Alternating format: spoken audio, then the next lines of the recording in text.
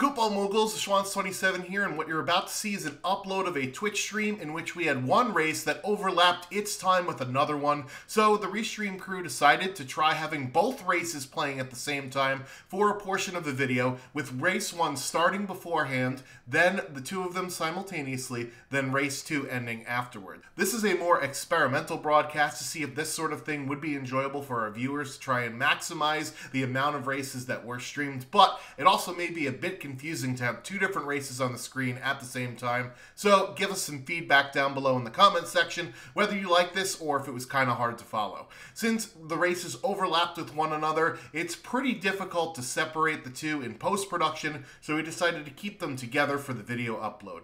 The interview portion of the second race is actually in the beginning of a different video on the channel. Link in the description if you'd like to hear that part of the uh, broadcast. Now, let's get started with the Poltergeist Fury flag set for both of our races here. Good evening, Moogles. It is the Schwanz27 here, and we got some Warring Triads action for you tonight. A double header, both with the Poltergeist Fury flag set, as you see on the screen here.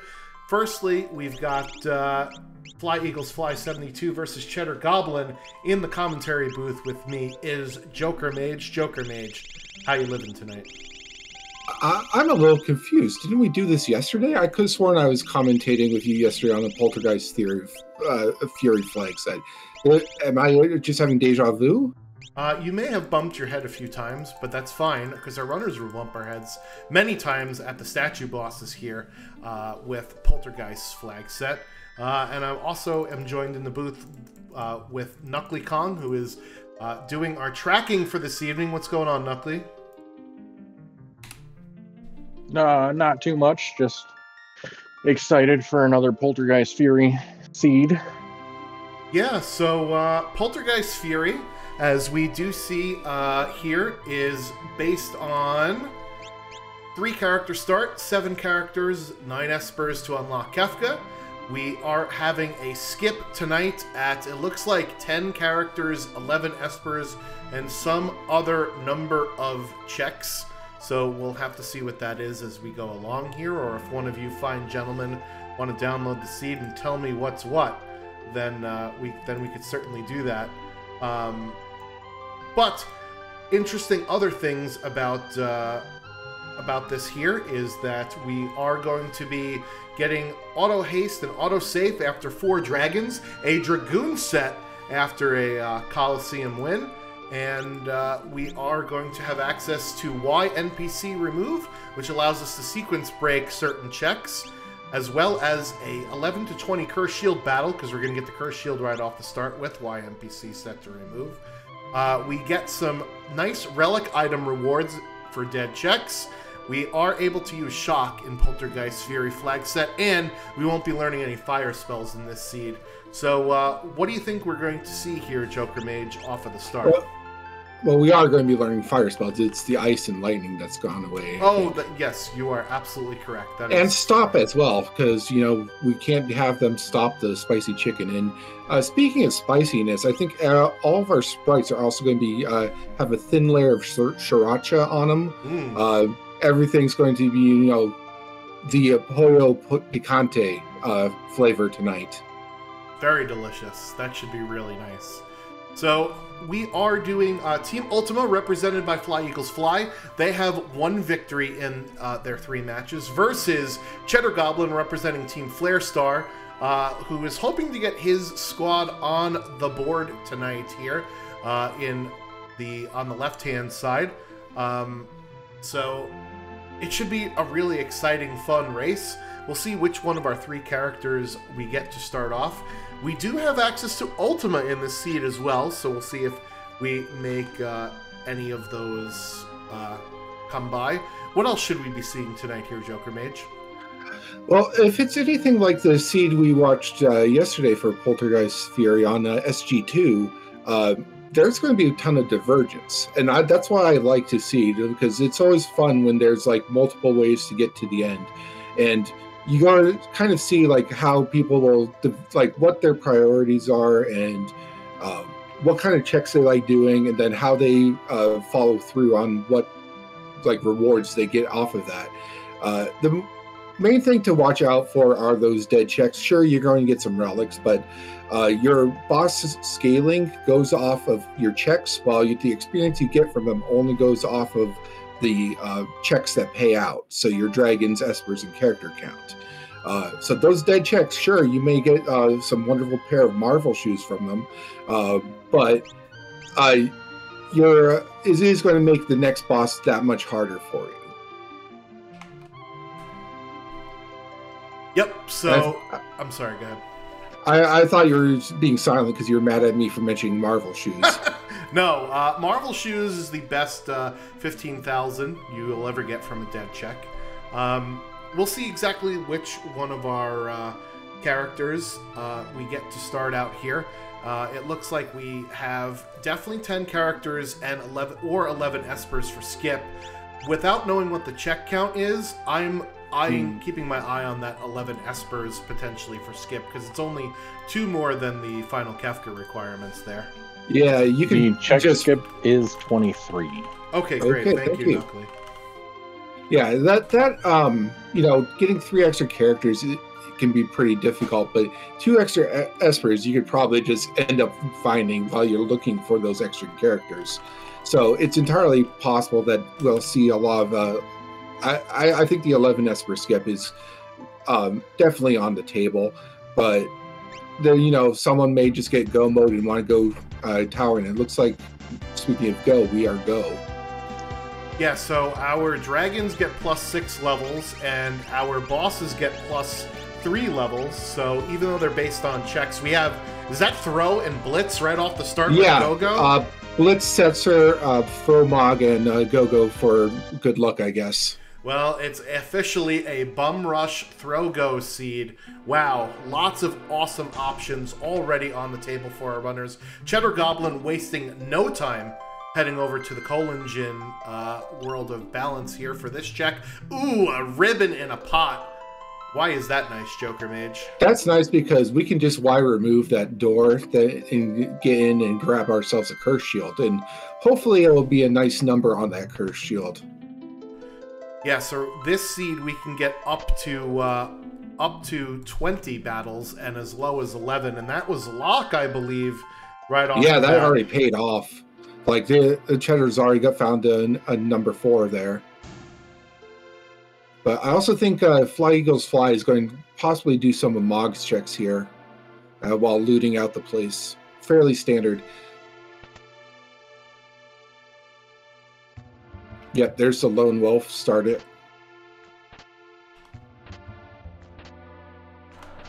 Okay, I mean, we don't need that lock to get the curse shield, but we have them now. So, uh, what are we going to do with him now? Yeah, I think what we're going to do with him is we're going to make sure that we can go into the Phoenix Cave when we have enough characters to actually take out the dragon. That's what I would do. You're not going to pull a Drinks Glue Classic and just do uh, Phoenix Cave right away? I mean, you could do Phoenix Cave right away, but remember, four dragons in this flag set equates to um, auto haste and auto safe, right? right. So I'm going to want to get those big positive auto statuses for my characters right away. And there you go. Man of the people, Fly Eagles Fly, selling those Marvel shoes right away. That's what we like to see. And it seems like after grabbing Lock, uh, Cheddar has just come back and is sort of uh, following in Fly Eagle's uh, footsteps here, you know, doing these Narshe checks to get triggering the uh, lone wolf uh, or initiating it, I should say. Yeah, if you're going into the world of balanced Narshe anyway, you might as well trigger that check. And there is that Narshe shed that will allow you to get six treasure chests all there. And there's a bunch of fire skeins being bought. We do have throw from Mog, so that's a really nice thing to start off with here. There is an economizer for sale for about 58k in the Narshe Relic Shop. So that'll be nice if one of our runners decide to go see what the Curse Shield count is and potentially earn themselves that Ultima. Ultima is available in this seed, however, it is at the cost of 254 MP, and oh no! It's a travesty, a 20 battle Curse Shield. That might be a little oh, bit too much for me there. Like even at at the beginning of the game, like you're it, it a good runner is going to be able to like get through a lot of this with before that even gets uncursed.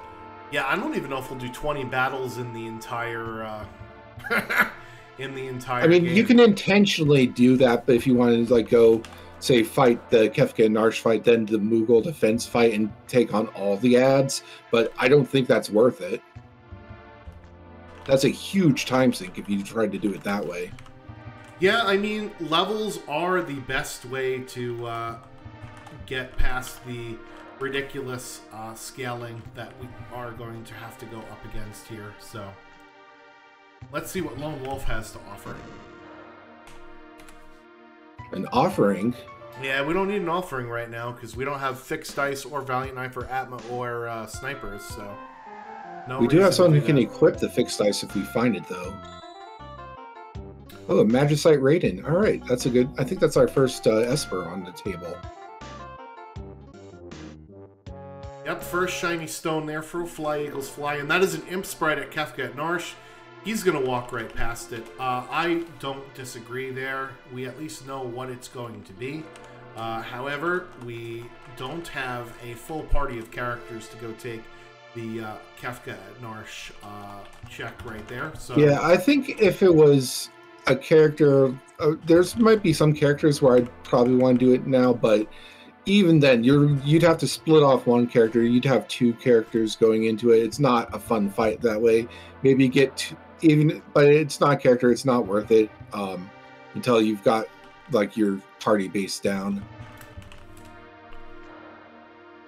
All right, Cheddar Goblin heading into the Returner's hideout. I believe he did go take a peek at the monster in a box. I did not see exactly what it was, though.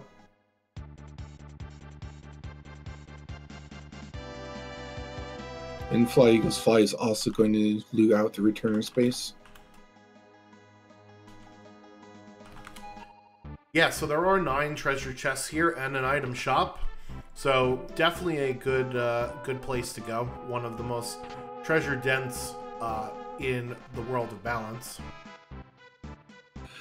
Now, how soon, like, when would you expect uh, Fly Eagles to go ahead and check that um, cafe shop uh, for its lock? Like, is that something you expect him to do soon, or he might put it off for a bit? Yeah, it depends on what his comfortability is with free checks. Obviously, he went to go do Lone Wolf, so he's probably pretty comfortable getting at least one or two free checks under his belt. So we'll see when he decides to go over to Kohlingen in order to get Lock. Remember, we don't actually need Lock to get access to the Narshe Weapon Shop and the Curse Shield with YNPC set to remove. We can sequence break those things. Uh, tech, a lot of the times you do kind of want to stay in logic at least for a little bit because then you at least know where on the chain your characters can be versus they cannot be, right? Um, that's one of the interesting things about Worlds Collide is every seed is 100%able. Um, so you've got to get a character to unlock more characters. Cursed Ring pickup there from Cheddar Goblin, very nice. That's one of the things I love to buy whenever I see it. It's 820 GP in this seed, and it will allow you to learn the X Zone spell after uh, having the condemned status for whatever battles you put it on. You're not guaranteed to learn any uh, spells that have instant death, so that's a nice one. As well as that Ice Rod pickup there. Uh, we're not going to learn Ice out of any Espers or with any magic in this seed, so that's another really good one, and he's going to sell a bunch of stuff here. Uh, in order to go and pick up yet another ice rod, so Yeah, a that's great player. yeah, like th- that's really is apart from possibly getting the uh, Esper Shiva, that's really going to be all your the limit of what uh, kind of like ice elemental damage you're going to have. Uh, there might be a few other edge cases like Bl- Blizzard Sword, but for the most part, though, cracking some ice rods or summoning Shiva is going to be where it's at. Uh, same thing with uh, lightning. You're going to want to find some thunder rods and possibly the Esper Ramuh. Yeah, the other great thing about rods with this starting set of characters, I noticed somebody was asking about it in chat. Go-Go can mimic any item, whether it's in your inventory or not. So he could mimic those ice rods over and over again, and that's a great way to get past one of these first couple of bosses here. Um, as far as advantage with the starting characters, I think it's up to whichever runner is more comfortable getting those free checks, like the Zone Eater, like the uh, uh, the the Lone Wolf, the Figaro Weapon Shop, and uh, Setzer's Kohlingen, right? So if you can get all four of those checks for free and get stuff out of it, yeah, your enemies are going to be scaled pretty high. However, we've got Throw, we've got Go-Go, we've got Blitz on the table, so these enemies are just going to fall over there, just like And we uh, already- Cheddar Goblin we already know- sho- showed. Mm. Sorry about that. Uh, we already know that two of those freebies do pay off. The Lone Wolf one is an Esper, and the cafe shop is locked. So those are actually like useful free checks. Yeah, and with YNPC set to remove, we also get the option of a free check at Mount Zozo, where we can go without having access to Cyan. So there's potentially five free checks you can do pretty easily in this seed. Um, so it just Are you- depends on how comfortable the runners are with scaling up that way. Can you clarify something regarding the, the Y remove? Would you be able to do the Figaro engine room with that? Because I know that's normally blocked off by Siegfried, but I don't know if the rest of the sequence will trigger if you have, don't have the uh, Edgar in your party. So you can trigger that whole World of Ruin sequence without Edgar. You basically Y remove the Siegfried that's blocking your path, and then that gives you access to the ancient castle, as well as giving you access to uh, rather the South Figaro uh, engine room, and it also gives you access to ancient castle. So you could do that whole loop without Edgar. The only thing you can't do is check the Figaro throne; it will be empty. And uh, I'm asking because there is yet another dragon down there that you could potentially go for. Yeah, so with YNPC remove, you have access to every single dragon in the game. Uh, you can go into Phoenix Cave and fight the dragon without Locke. You can walk up Fanatic's Tower and fight that dragon without Strago. You just can't get the rewards at either one of those places. Uh, Cheddar Goblin did take off the Moogle Charm and is grinding, but Fly Eagles Fly finding an experience egg in the basement of South Figaro here before his grind fights. That's going to be a huge advantage to him.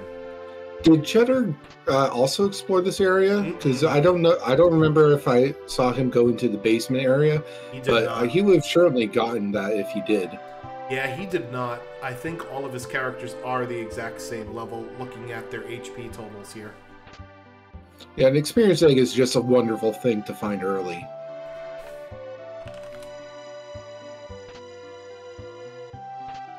Now, with all the dragons being available with Y remove, they make for great early game experience. But before taking on a dragon, I would want to grind a few levels and then also get some espers that have good stat boosts.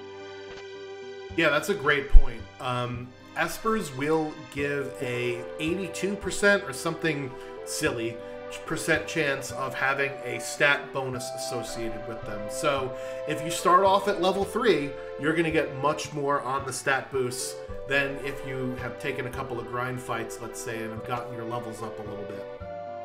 Yeah, get if you we I don't think we've seen what's actually on the one Esper we found so far because I don't know if the uh, Fly Eagles Fly has actually looked at it yet.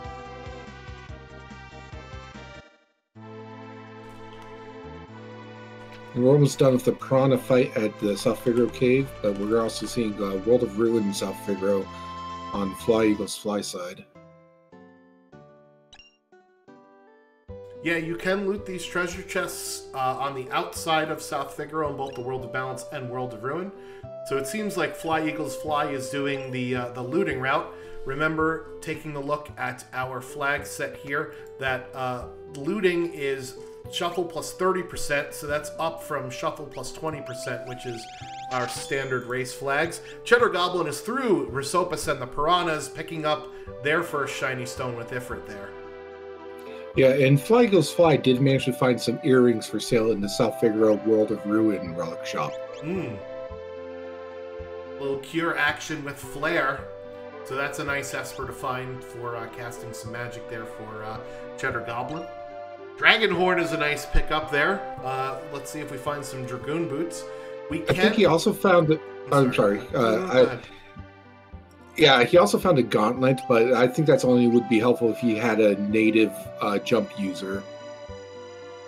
Yeah, so spears are able to be two-handed, which means the gauntlet will double their battle power essentially. And uh, when you're up in the air, you don't really need a shield, right? 20k GP for that glowing stone into Tzen. Yeah, so we know that's going to pay off, and that's not a terribly expensive rock either. Mm-mm. Uh, we've seen them like go for like 60k. Ooh, there's an offering for sale if we need to come back later when we have one of those uh, weapons that can work well with an offering. Meanwhile, Fly Oh. Eagles Fly is heading to the world of Ruin Narshe. Yeah, we do. Uh, anyone who did the lone wolf check would also know that there's a free offering in the uh, Moogle Cave in World of Ruin as well. All right, so let's see what our choice is here at the weapon shop. Fly Eagles Fly doesn't have a lock, but is able to access this check in spite of it uh, because of YNPC remove. Picks up the Mega Elixir rather reluctantly there. Maybe he was hoping for a better dead check, maybe another experience egg uh, for If they can find, I think if they can find Terra, they can go do the gate and then get the other one behind that. Correct? Yes, that is correct. Yeah, and there's the 20 curse shield that no one's going to do probably. Yeah, 20 is difficult. I think for this flag set, and I don't know about you guys, but 15 is probably my limit. What about you, Knuckly?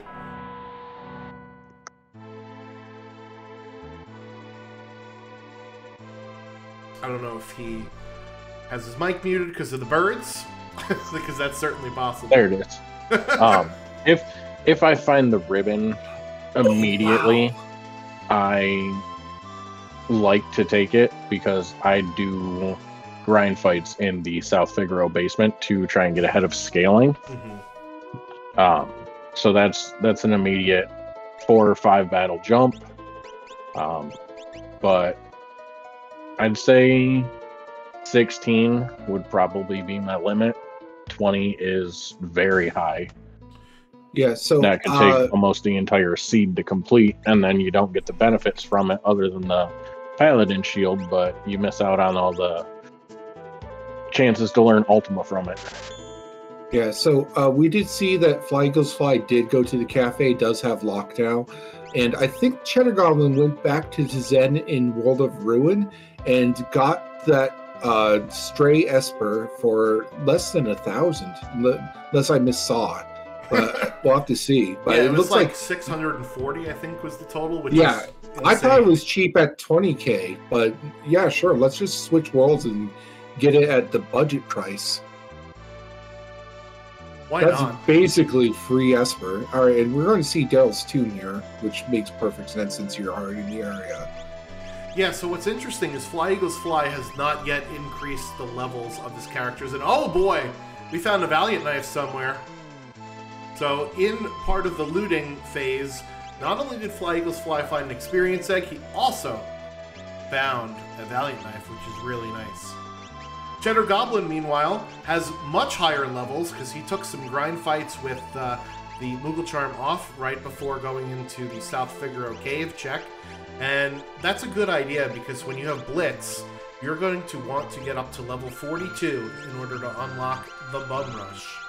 I think that stray had Pearl, Haste, and Strength plus two, Mm. and one other spell that I missed. Yeah, that Strength plus 2 is going to look real nice on somebody with Throw, or if you have a physical attacker with uh, the Fight Command there. And we do have a thrower, it's Mog.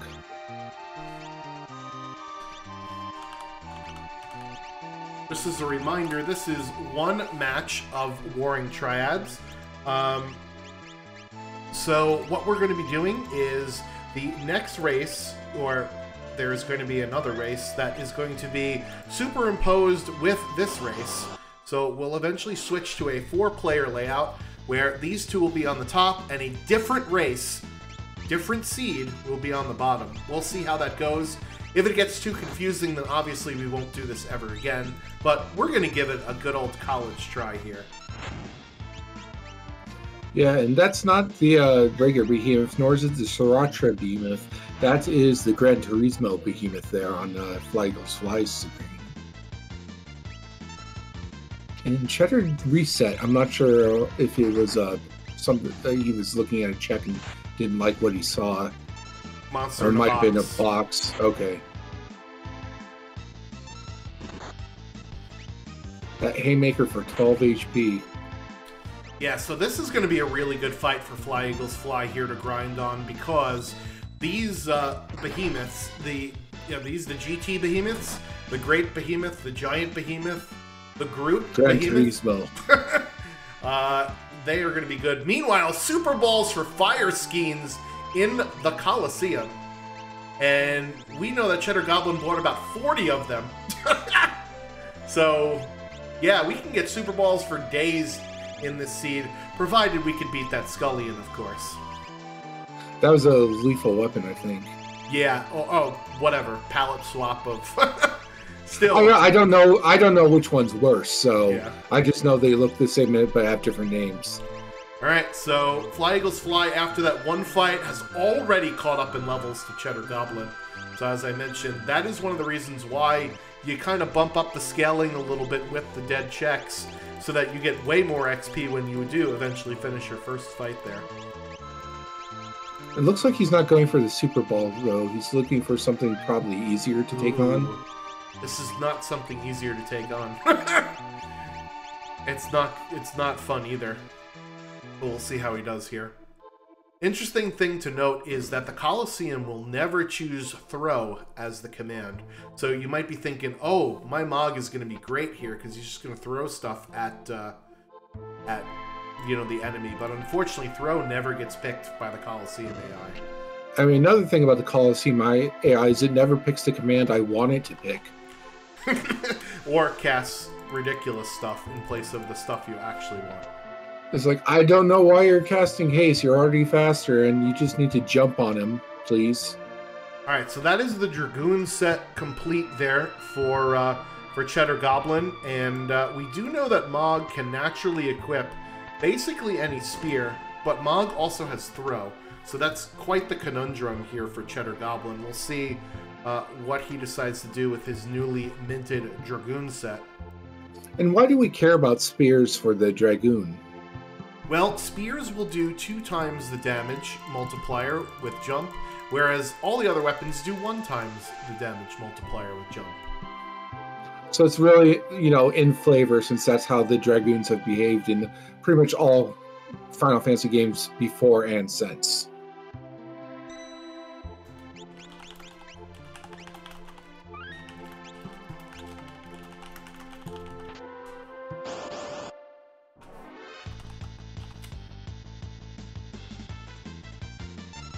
Okay, and both of the runners are now in Darill's tomb. I find it interesting that Fly Eagles Fly is taking the monster in a box um, because offering is one of the rewards for a dead check. And we also know that there's free offerings uh, in some places.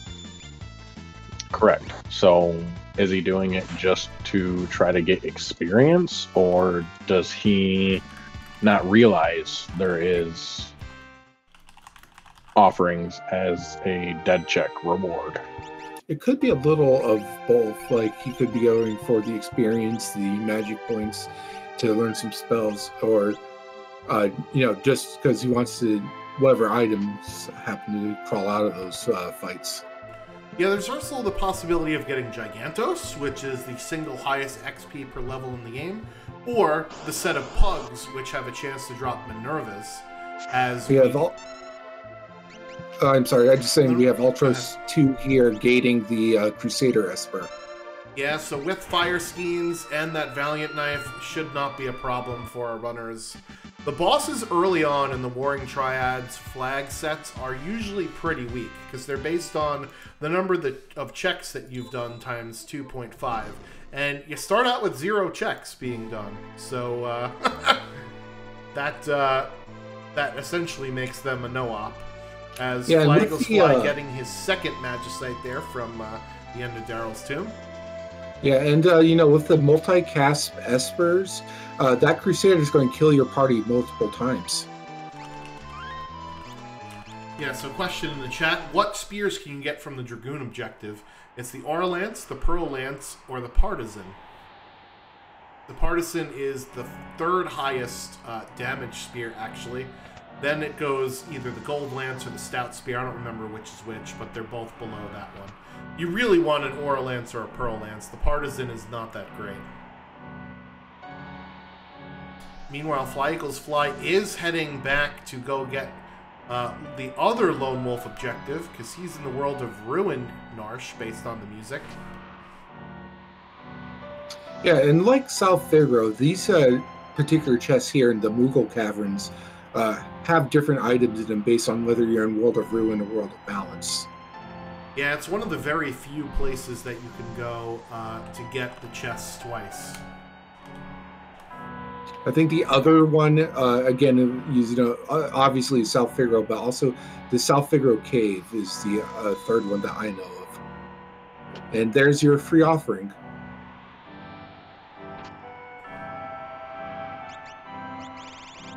Along with 8,000 gold just because you're there. Yep, so that's exactly why he went to uh, Moogle. That makes perfect sense there.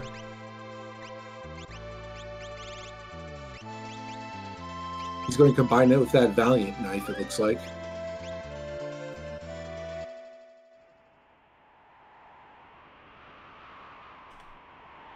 And I think we're going to see a dragon hunt. Yeah, that makes sense. We are getting nice goodies for our dragons. Four of them uh, will unlock auto haste and auto shell, respectively. So that totally makes sense there.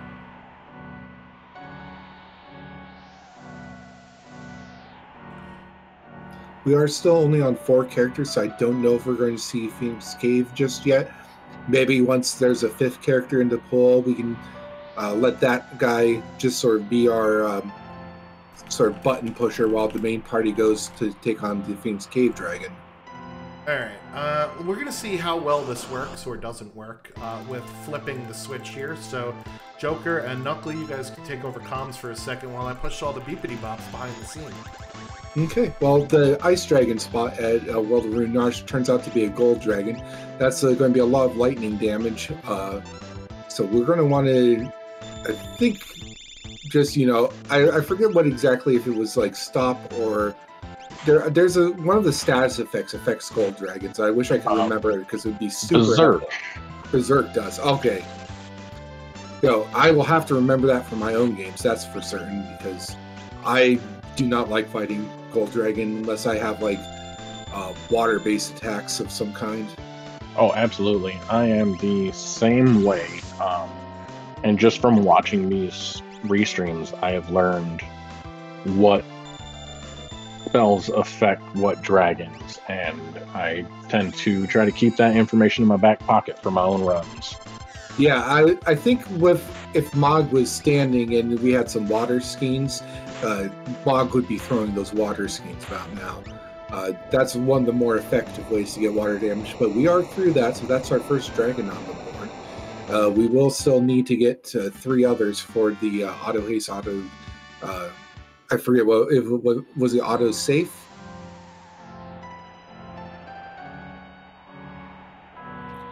And we're going to save. Uh, I assume we're going to see Tritoch check, but maybe not. I don't know. I guess it depends on if he thinks he has the power to get through whoever's there. But I mean, if you're already taking on dragons, you should be able to take the Tritoch spot, assuming it's not some super rude boss. Uh, meanwhile, we did have uh, Cheddar go and explore Vector, but uh, we do have the Y removed, so we could do Magitech facility without Celes. So I think that might be what we're looking at here. Yep, he's going right through that guy uh, to go and visit the Magitech facility. There is guaranteed production, but unlike Ultros League, I don't believe you can get uh, Magitech unlock from this. Uh, that was a very common thing in the Ultros League uh, series, but uh, Not in the Poltergeist flag set. yeah. So this is probably just looking for guaranteed progression. That is Doomgaze up at. the Oh no! Uh, Mob goes down, but everyone else is still up. Or That's a pretty good uh, odds. You, it's a lot harder when three of them go down and you're trying to use your last one to bring everyone back up. All right, so what we are going to be doing, ladies and gentlemen, boys and girls, is the top screen Fly Eagles Fly versus Cheddar Goblin. They are going on one seed here, and I believe that the trackers are up to date with everything that they've got. On the bottom half of the seed is a different matchup Tybalt 2010 versus Kwestopher Warken. And uh, they are also playing the Poltergeist seed. It's the same requirements of seven characters and nine espers. I don't know what their skip is. Uh, Uh, their skip is 9, 13, and 21. Okay, so unfortunately, I can't give two different uh, goals, so we'll just have to keep that in mind. Uh, but we will keep the, uh, the the tracker as it is with the goals. So they're about to pop off in just a second here. Yeah, I will say like nine characters is a lot more doable than 10, but 21 is a fairly safe number for the check skip. And uh, we are through that Doom Gaze, uh, and I did update the tracker to indicate that Fly Eagles Fly does have one dragon down. Okay, perfect. Thank you.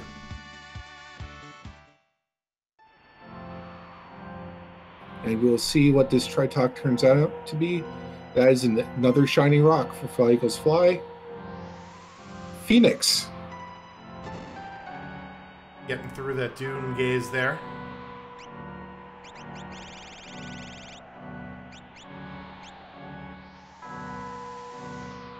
Yeah, so luckily only the Mog uh, got affected by that Doomgaze uh, L5 Doom. Okay, we do have a start on the bottom screen now. Uh, to both for Christopher Larkin. I see Celes. I didn't see who else was on the teams though. It's Mog The and last- Umaro. Okay, that's an interesting combo. Throw again. Was that another throw Mog? Well, that's going to keep it very interesting between uh, the two runners here, as that's Bahamut up at the top for uh, for Cheddar Goblin. So that's yet And he's another doing- Magicite there. Yeah, and he's doing the full check. Meanwhile, Chris, Christopher Larkin is doing getting that Dragoon set right off the bat too. So that's very fast.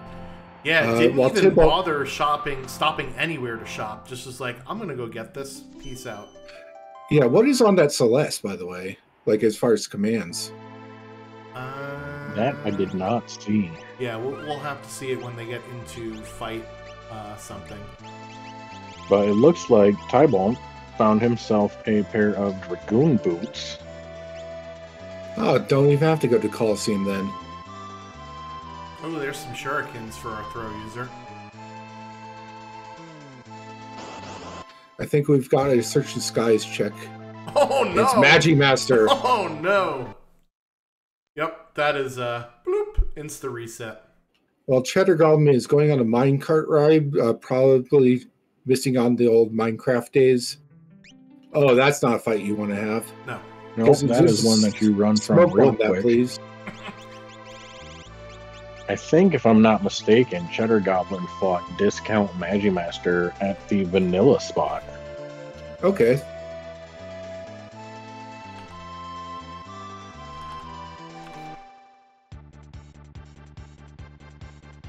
We do have return camps check. Uh, both of them went to World of Balance. Narshe uh, are now just sort of doing their looting phase, I think.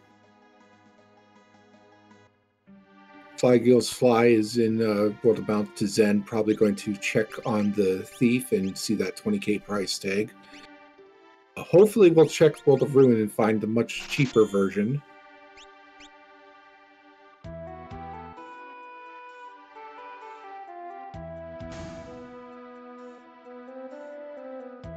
Nope, he's just is going to pay out the 20k, it looks like. Yeah, usually it doesn't get much cheaper than 20k. It's just rather unfortunate that it's what 650 bucks in the other world. So Yeah, I mean, fortunately, Go ahead. I was just going to say that usually you don't have to worry too much about gold in uh, as you get further along, just because you know stuff is going to fall into your lap and you'll have plenty of riches. My best find for the Tzen Thief was 69 GP, and it was an experience egg. Nice. That is insane. I've gotten nine before. At 69 GP, I did not care what it was. I was buying it because it's cheaper than a potion. Okay, and we're seeing more or less similar ru- looting routes on the bottom half. Uh, they both did Narshe, both did Returners Camp, both were doing South Figaro. Um, Cheddar Goblin did get through that uh, budget Inferno and is one boss away from finishing off the um, Celesless uh, Magitech facility. And it looks like Fly Eagles Fly has gotten the same idea. I think it's they're both after sort of looking for some guaranteed progression is why they're doing this. Yeah, the last check in the Magitech factory is guaranteed to be an Esper or a character. I didn't quite see what it was on Cheddar Goblin's screen, but we've got a Stooges fight, which should get kind of interesting here. Based on his tracker, he is I, at I, four characters, five Magicite. yeah, you don't. It doesn't tick off until the reward. Uh, excuse me, the check is actually complete. Unfortunately. Right. But I think the second check in the Magitech facility was another Esper.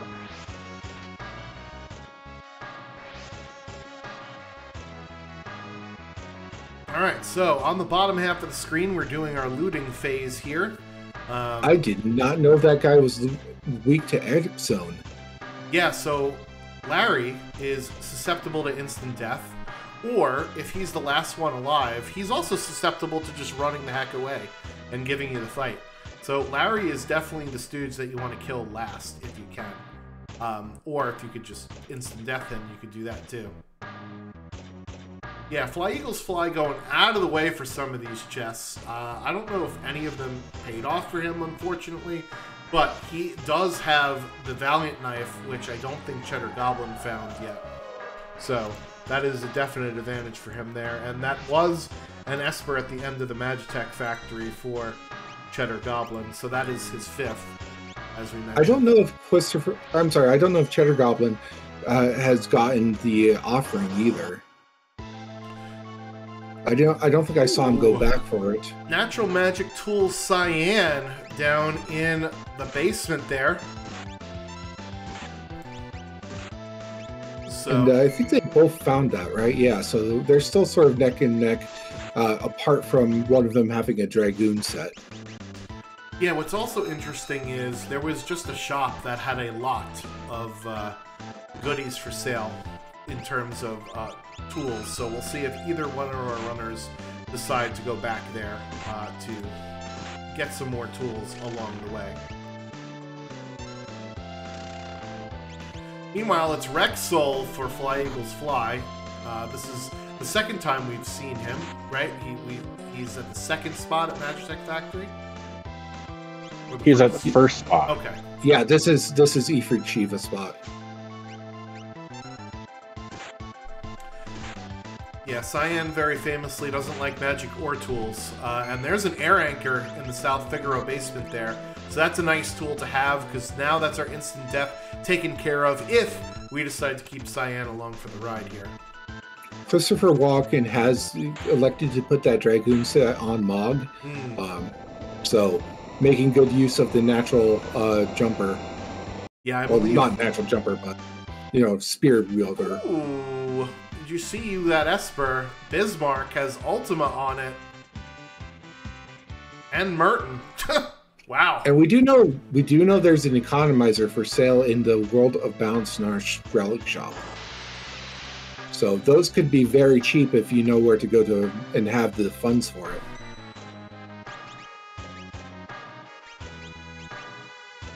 Alright, so Christopher Warken taking off the Moogle Charm for some grind fights here. Meanwhile, Tybalt doing some sequence breaking here at the Narshe Weapons Shop.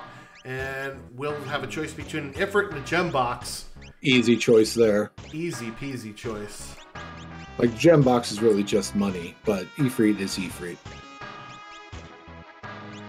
But see. later on, that gem box could come in handy if you pair it with an economizer on an ultimate user.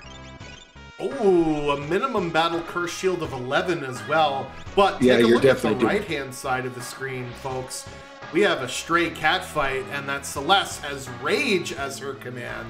So that's Christopher Warken with an endgame online uh, Celes right there. Very nicely done. Yeah, just uh, have her channel her inner feline, and uh, that should be good. Uh, Tybalt is going to go ahead and do the uh, uh, Coliseum now, and we'll try and get the well, you use the Umaro to try and get uh, that Dragoon set. It looks like. Cheddar uh, Goblin. I'm sorry, go ahead. I was just saying, going to say the same thing you were. Chair Goblin's doing the Lone Wolf check. Yep, so he's gonna get his uh, choice between his uh, his offering uh, or the um, the the magicite here, and is gonna wisely pick the magicite. So that's gonna be number six for Cheddar Goblin there. And Knuckly Kong was correct. That is uh, Vanilla Budget Magimaster.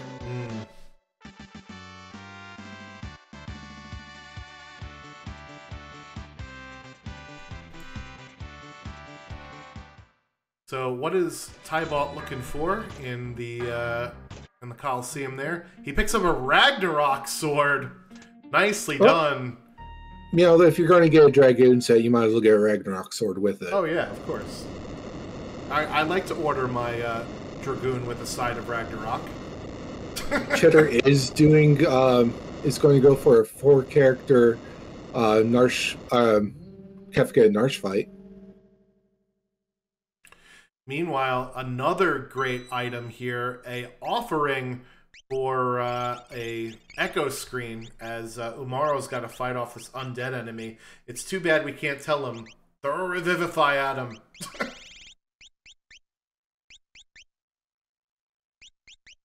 All right, what are we going to see at Kefka at Narshe? I think Fly Eagles Fly passed on this check. That's correct.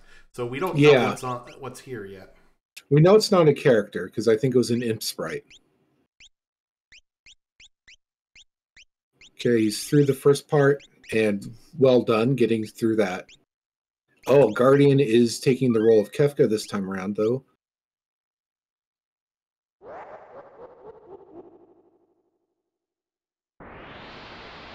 Yeah, Guardian is usually pretty uh, pretty beefy in terms of HP, but we do have access to lightning via bolt edges, and uh, we got blitz, so I think we'll be okay here.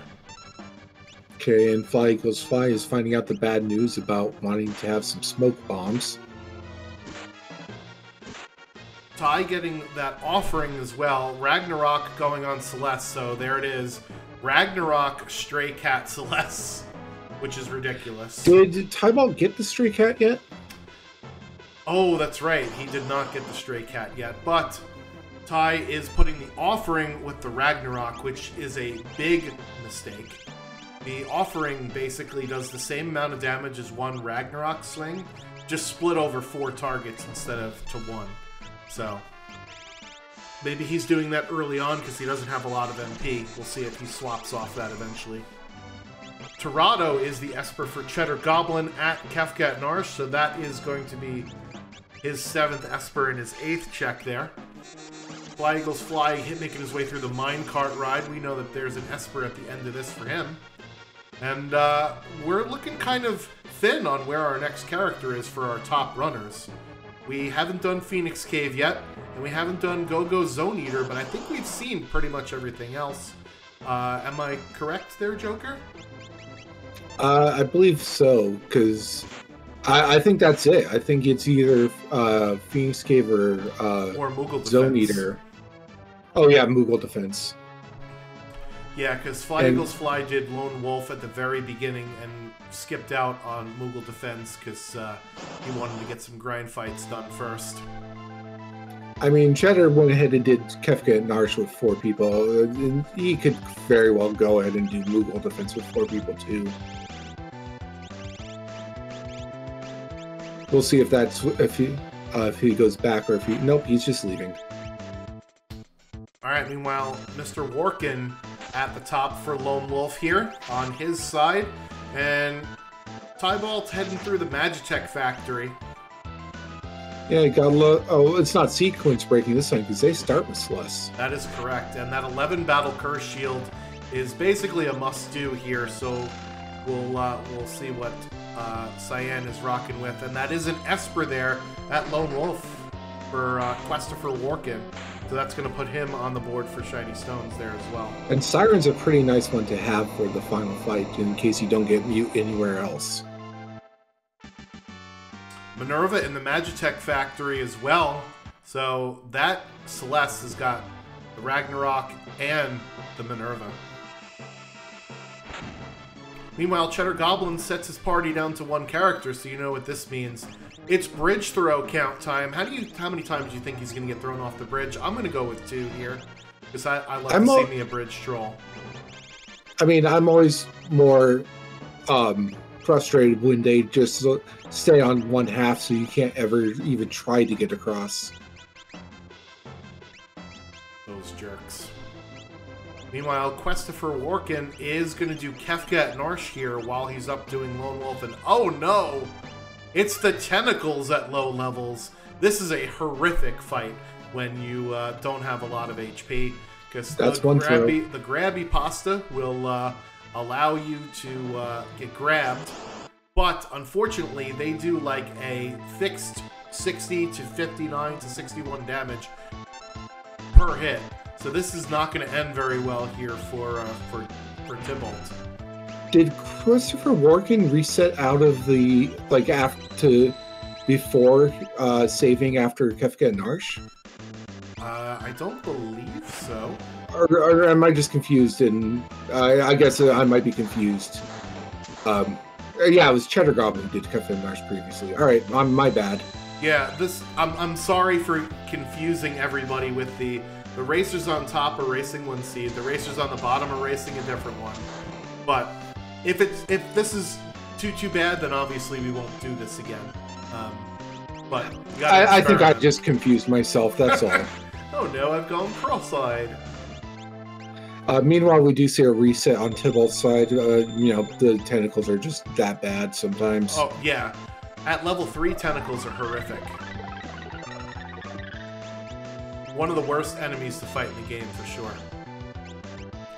And Christopher Walken's having my level of luck at dodging those uh, ads for uh, the uh, Kefka and Narshe fight because I usually have to take out like four of them because I'm just not good at the timing for that. Fly Eagles Fly, meanwhile, doing 8,000 damage with his Valiant Knife user Locke at the moment. So Locke is officially online with that VK and that offering. Uh, we just got to kill Curly, who keeps bringing his characters back to life here. Maybe he's trying to do a stooge grind. You don't get more XP each time you kill a stooge, unfortunately. Don't tell them that. Meanwhile, it's Sriracha Senior, Senor, Sir, Scrontium, Behemoth for Christopher Warken, who looks like they are doing the Wind God Celeste power play here with that Tempest and the Stray Cat.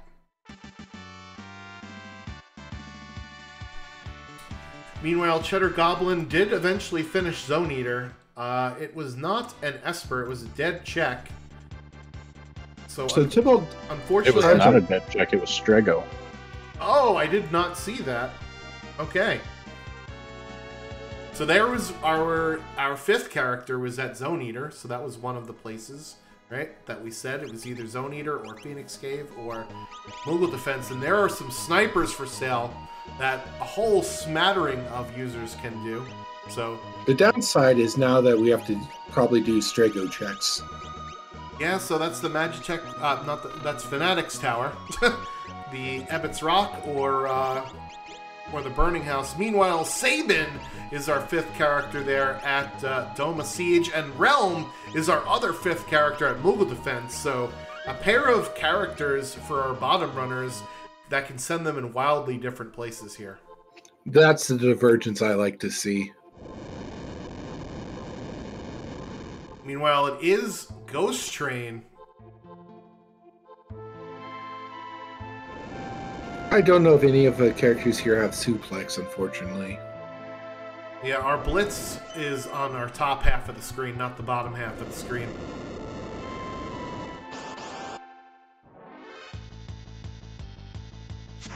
Rizopas and the Piranhas, my favorite metal band from uh, Final Fantasy VI, for Fly Eagles Fly. Cheddar Goblin has given us some new information for uh, that race, doing one of Strago's checks, Ebot's Rock. Okay, he's through the uh, coral check. And here we have Rappa. Oh, good. Oh, that ghost train has done some damage to Tybalt. Yeah, so it's oh he could use that pearl rod and end this fight basically right now. But it is important, folks, to get off of level three because level three is not the place you want to be. You can fight the soldiers at Doma Siege basically before you do this. Um, that is an option that you could do in order to gain some levels, but you're going to want to gain some levels before taking any fights here. Cheddar, Cheddar Goblin um, just sends that Narapa to the Phantom Zone. Yeah, and running out, that means that's another character, and that is Edgar. So that's already up to six there for Cheddar Goblin. All that training paid off. Natural jump on him as well. Oh, double jumpers. Christopher Warken, meanwhile, uh, is in a cave somewhere. This must be Moogle Defense. Uh, and he's got Chadarnook. So one thing you can do if you have Umaro in your team is you can use the running away animation in order to allow Umaro to not take his turn and wait for Chadarnook to turn from girl to demon, and that way that will allow Umaro to actually hit the demon form properly. But yikes! Getting bodied by that first counter attack there. Yeah, this is a, another one that can be rough early on, I think, but uh, once you have like some answers, it, uh, Chadarnook's not really that much of a problem. But you know, if you don't have those answers, mm. Yeah, we'll counterattack with lightning spells, and unfortunately, we don't get thunder shields from dead checks in this seed like we normally would. Hopefully, Mog can carry here with his jumping ability, and there it is, painting yeah, down for Christopher Warken. Let's see if the Moogle defense yields a character in the top half of the runner's screen, and it does not. So, no Relm, as Mr. Warken gets uh, for his side.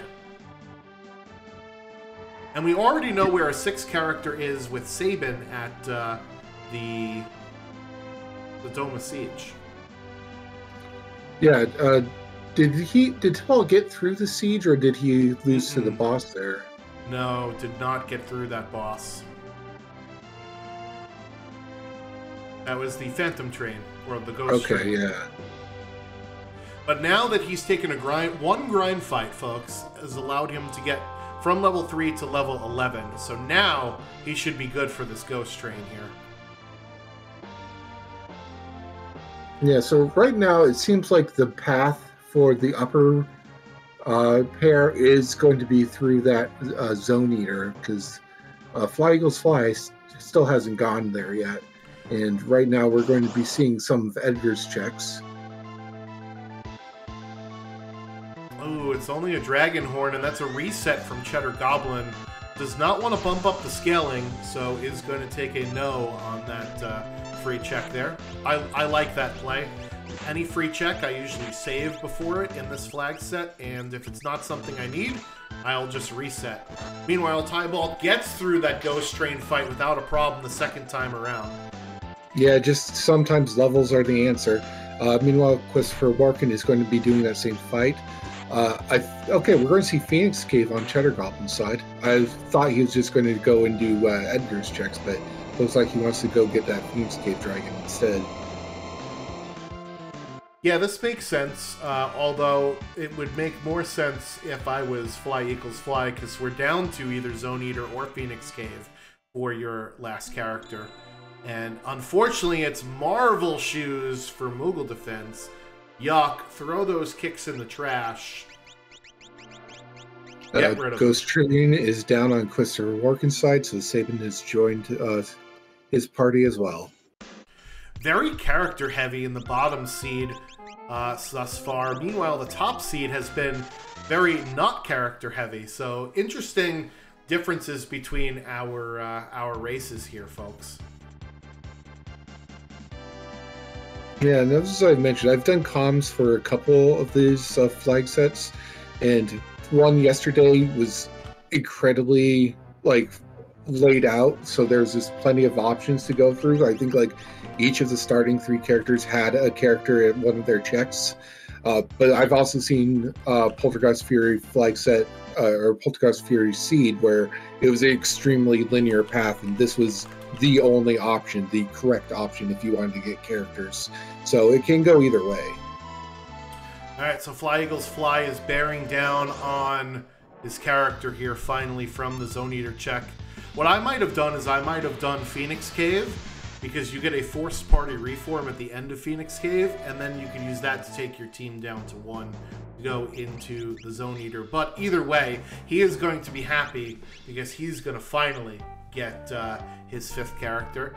Meanwhile, uh, Tybalt grabbing uh, Siren from the top of uh, Narshe there at the uh, the Lone Wolf spot, so that is going to be his uh, next check.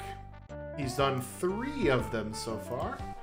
As I try and keep my bearings about us, and Warken is on five.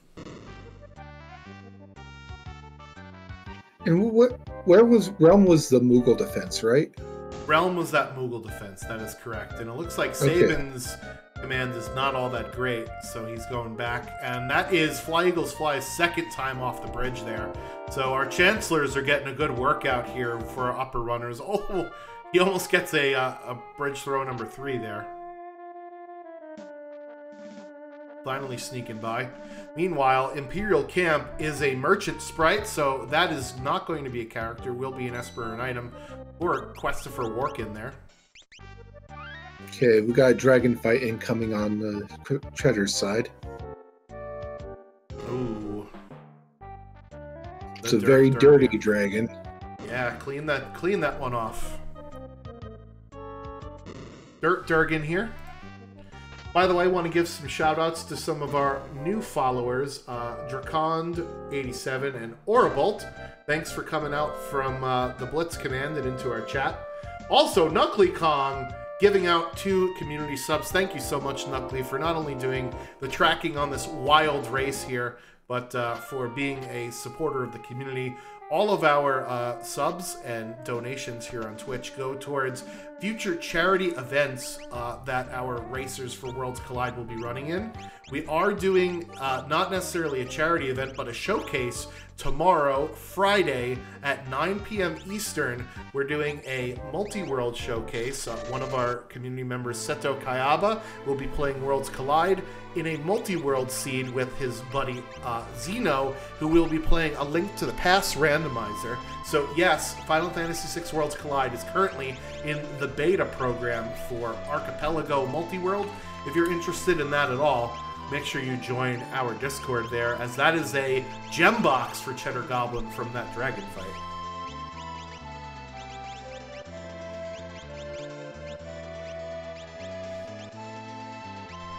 Not a very good dead check reward there, unfortunately. Nah, it's mostly just sell it for cash, I think. Palidor is the result of that Imperial camp check. Nice. So that's another Esper on the board there for Kwestopher Warken. So that is two apiece for uh, our bottom race. We're about to see the result of the Phoenix Cave.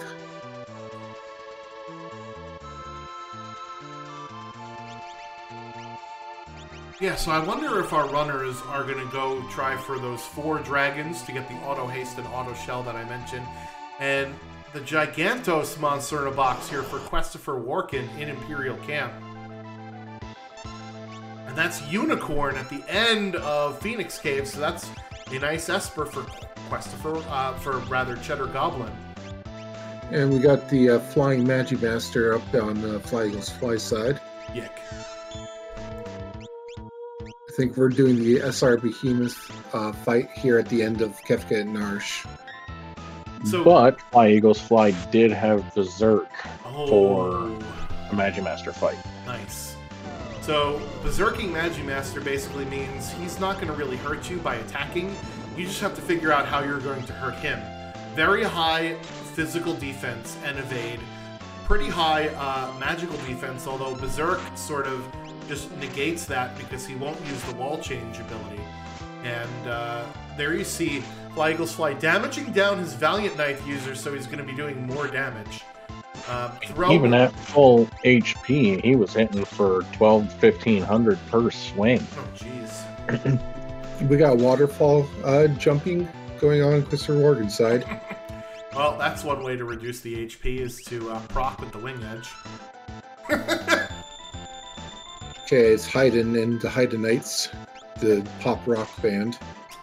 Yeah, and it looks like Kwestopher Warken is going to be showing off that stray cat now. There it is.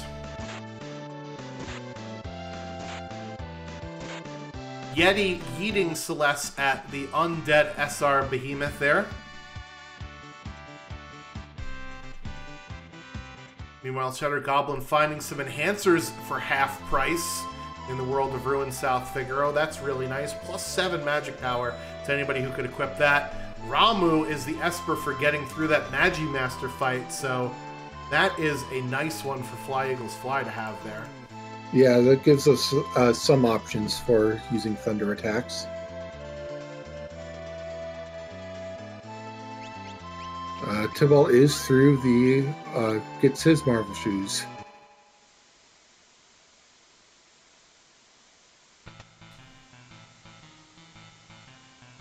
Something, something, pumped up, kick something. I only listen to the bardcore version of that song, so I don't know what that is, so I might have to investigate. it's this, this guy took pumped up kicks, converted the lyrics to Old English, like the Anglo-Saxon language, and sang it. There you go. Thou must runneth. anyway, Christopher Warkin, after being like TLC and chasing some waterfalls, let's see what's at the bottom here from this Hidon and the Hidonites fight. Meanwhile, Fly Eagles Fly doing some sequence break action for uh, Mount Zozo. Now, remember, since he doesn't have Cyan, this may or may not be a character, but it's definitely not in logic with the seed. We know that his next character has to be in one of Strago's checks, and we know from Cheddar Goblin that it's Ebot's Rock. And we do have uh, Cheddar Goblin going for his Magimaster fight. Oh, that was a really nasty way to start. Tyrannosaurus here as part of the Moogle defense is never fun, this pincer attack formation. However, if Tybalt can get through this fight, he will get a lot of XP. Cyan still dancing in place with uh, that curse shield count. Remember, it is 11 for the bottom runners, so highly beneficial.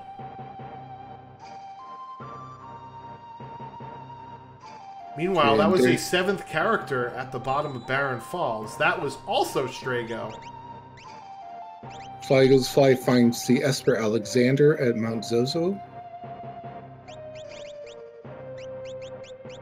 Yeah, so that'll put him at uh, at eight Espers there.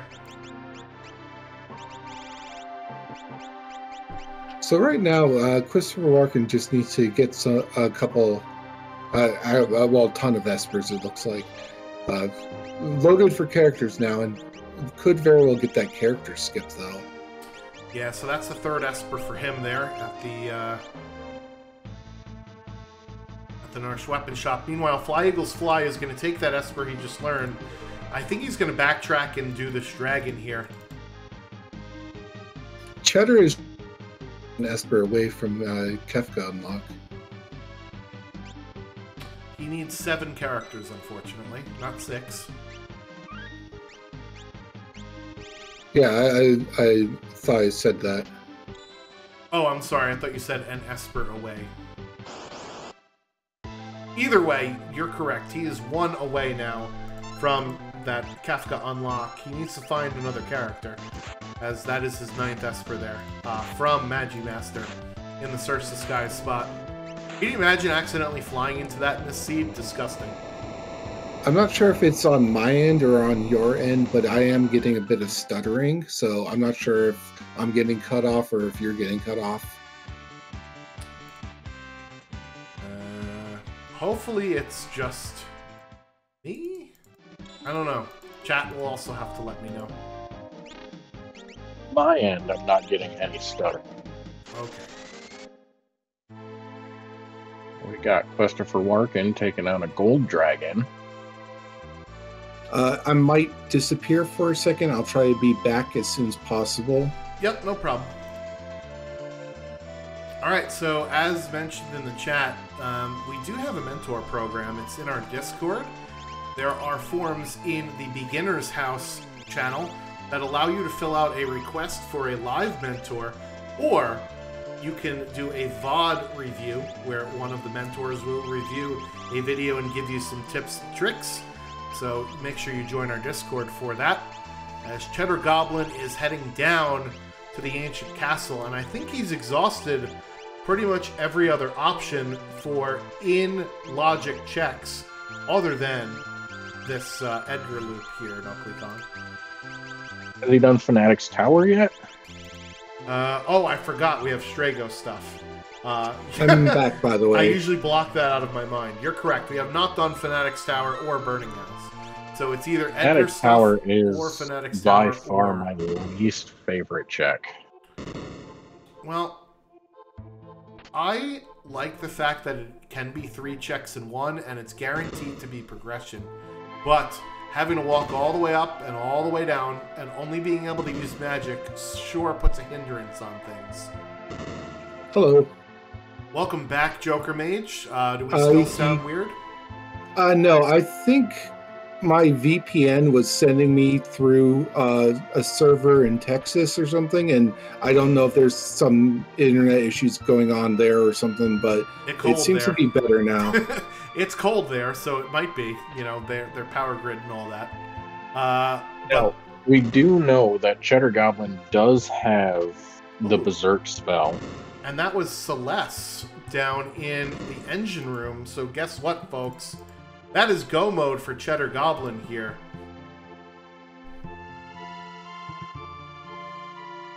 now, does Cheddar Goblin want to try for some kind of skip at this point? Uh, obviously, checks are look a little low, but maybe try to hunt down a couple extra espers. Uh, so what is their skip? Is it 10 characters, 11 espers, 21 I checks? think so. I think it was 23 checks. 10, 11, 23. Yeah, so two more espers is not a bad idea, right? We let's think about some of the checks that we have now. Celes gives us basically a free one at her uh, at her South Figaro prisoner spot, and we have access to Magitech Factory, which is two very fast checks for espers. However, our runners have already sequence broken into the Magitech Factory, so that unfortunately is not an option for either one of them there. There's also uh, Cheddar Goblin's only on one dragon, so do you would you want to go for extra dragons, or at least maybe one, and then do the two dragons in Kefka's Tower? Yeah, the problem with doing the two dragons in Kefka's Tower is you have to split your party or send your full party down one lane and warp out and come back. As we see a 1v1 Umaro versus Chadarnook fight here for uh, for Tybalt, we'll see if he could pull this one out. Well, you, you can do both dragons one pass with a full party sweep in the right side. Uh, you have to like go all the way to switches, and then just have your right hand the the right side party go down the center path backwards. Yes, that is correct. You can do that, but then you also then have to warp out of the tower to reform your party anyway. Right, so it's one I of mean, you can also things. It, it- like you could also link in the clearing the center path of, of the guardian and poltergeist statue too. Uh, you you still are going to warp out, but it's an option if you want to just do uh, two dragons outside, two dragons inside. Looks like Cheddar Goblin's going to take on the dragon at Opera House. Makes sense. That's probably the easiest one to get to.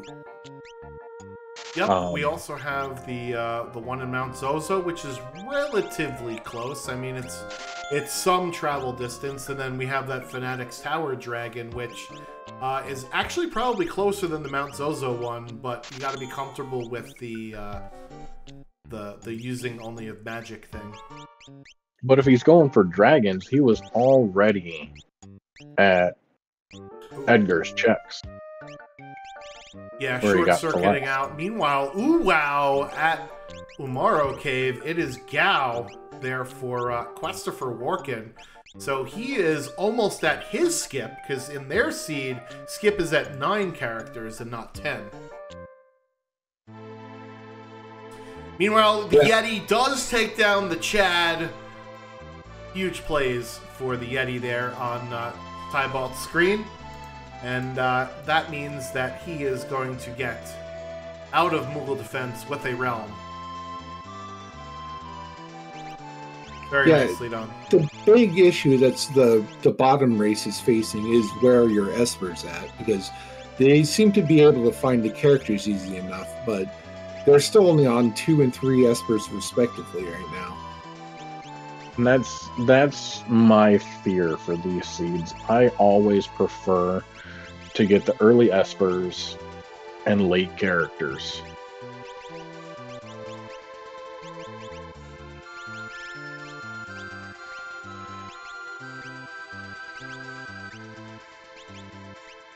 All right, so it looks like Kwestopher Warken is going to head to uh, Mount Zozo here. Going to potentially take out yet another dragon in his quest to get to four. As Cheddar Goblin did take out that Opera House dragon there, so we'll mark that down for him. Going straight to Kefka's tower at this point. Yep, that makes sense. Maybe he wanted to learn one or two more things. Although it looks like he is overloading the middle party, so we may see a Toilet Atma and a dragon play from him. So this might be the four dragons, as you mentioned, Joker Mage, two in the tower and uh, two Yeah. outside the tower. You just need to make sure you you organize it right with the um like you need I think it needs to either be center or right needs to be your full party uh because the per, the group on the group on the the left is going to be going down the center thing first and they're going to be locked out. Yeah, that is a three out of four freeze for Fly Eagles Fly. Not what you want to see there for the Ice Dragon. I think what you would need, uh, Joker, for your strategy is a full right, because the problem is you can't get to the center statues with the switches, with the weights, if you don't beat the Inferno spot. And you can't beat the Inferno spot with just one character. Oh yeah, yeah, the the ambush, that's correct. Meanwhile, Blue, Blue Durgan for Kwestopher Warken, and Tybalt is at the top of the World of Ruin Narshe, so he'll be getting uh, his Gau at some point along the way, as well as going to take out this dragon and get his dead check at Tritoch. So yeah, so Cheddar is only going to be able to get the um, toilet atma spot and one of the dragons, not both. Then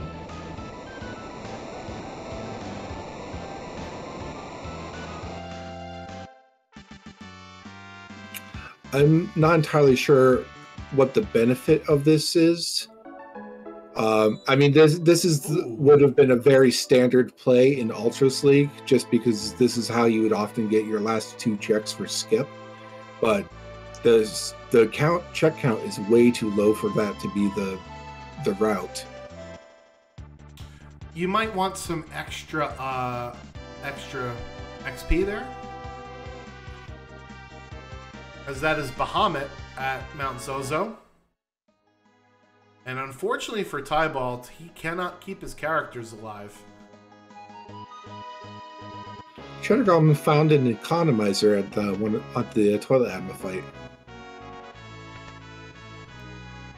Not bad. At this point in the seed, though, MP is pretty palpable, right? There's a lot of it to go around, so it's. I mean, if he if he had Ultima, uh, it would be very useful. But for any other spells at this point, you probably don't need it.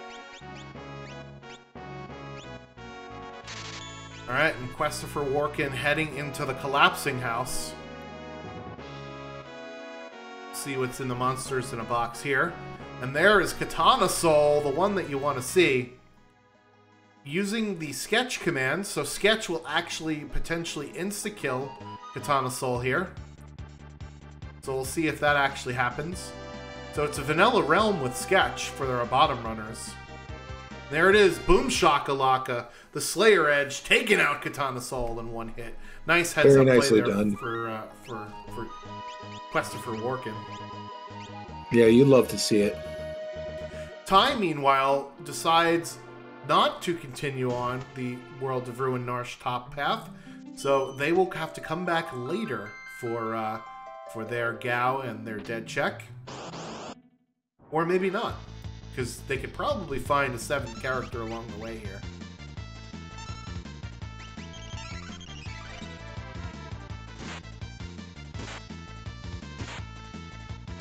That's an imp sprite at the bottom, so it is going to be a Esper or an item at Collapsing House, and it's 14k for the Zen Thief in the bottom half of our screen. Yeah, that's pretty affordable. Meanwhile, uh, Fly Eagles Fly getting the ninth Esper there. At least that's what his tracker said, so I'm going to go ahead and mark that. Because his tracker on his stream is not the same as what we see otherwise. And so he's just missing the Celes, which I think was Ebot's Rock. Is that right? Yes.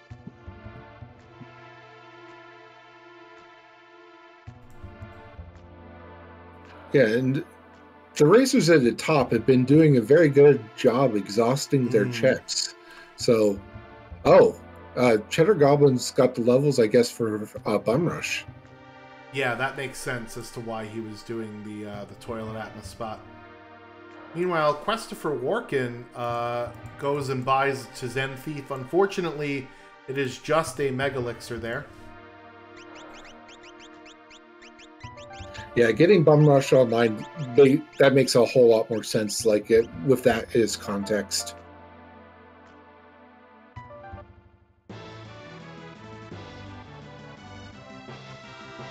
Meanwhile, uh, I don't remember this boat wasn't Esper right at uh, Collapsing House, so that's gonna be the third one for Ty here.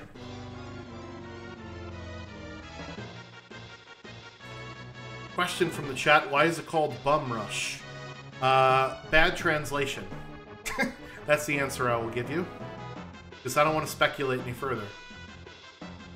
I mean, that's usually the safe answer with a lot of the uh, um, games in this era. All right, so that is calmness protection actually from the collapsing house of Golem. Fire three and magic power plus one, and flare and doom. So that is the jackpot Esper there for our bottom runners. Cheddar Goblin picking up Bum Rush at level 42 with his Blitz character. So now he has Bum Rush on uh, on his Blitz user, uh, which I think is Setzer, and potentially Bum Rush on Gogo if you allow him the uh, the, the command. Meanwhile, Quake coming out on Fly Eagles Fly screen. Thanks for uh, knocking my locks HP down a little bit for this boss here.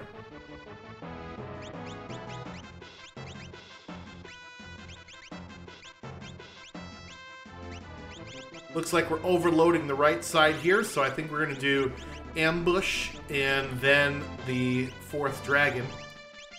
Yeah, and since he's already did the other dragon first time around, uh, he'll get his uh, auto haste, auto save, and possibly just go ahead and clear center route using this group too.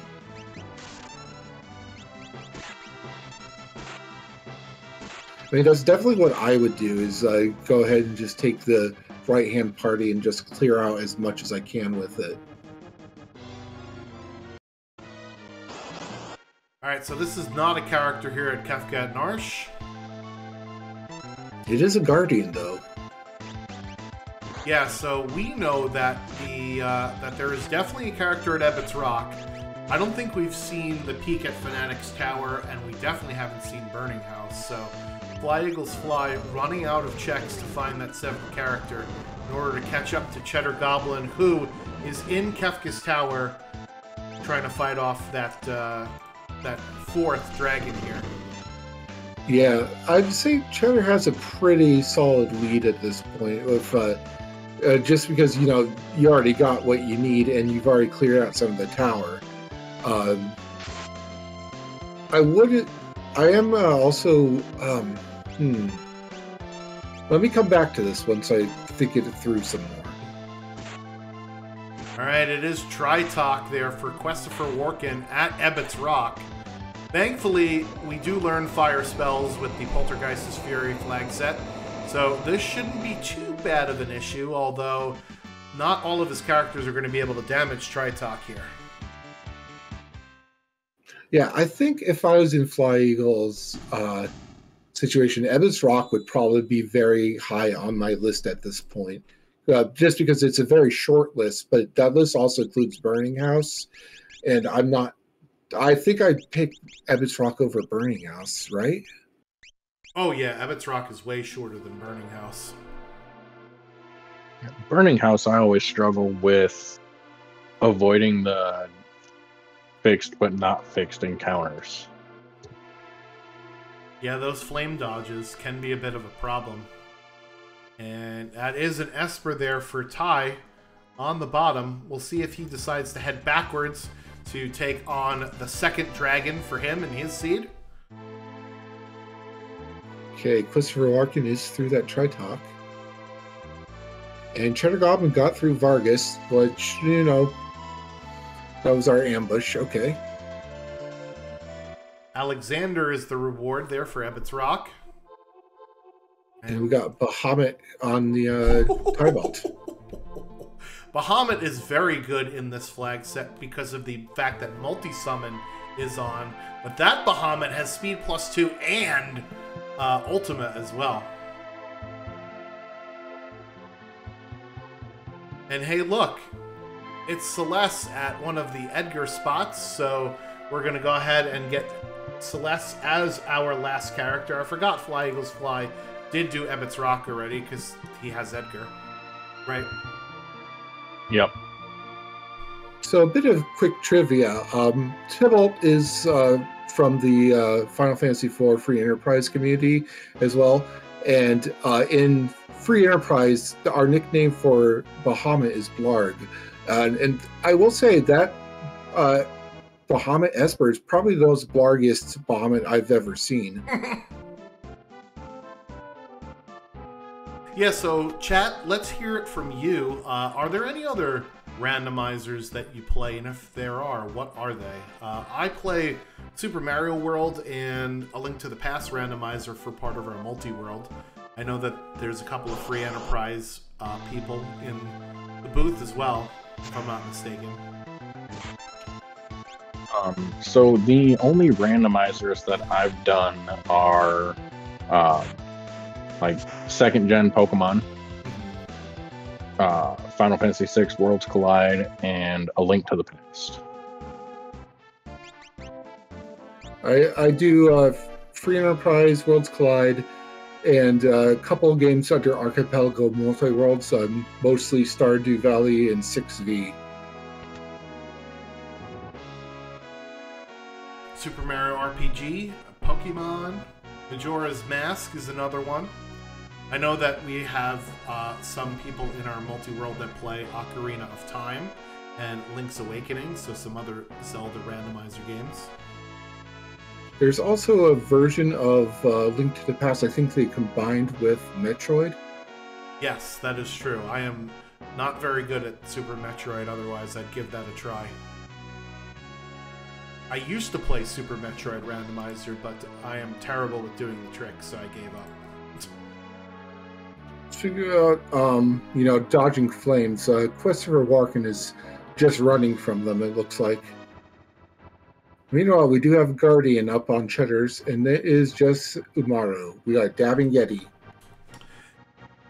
Yeah, so if you are new to the Final Fantasy VI Worlds Collide community, you can join our Discord, where we sort of have a mentor program that's aimed at newer players to help them get onboarded to everything that the randomizer is all about.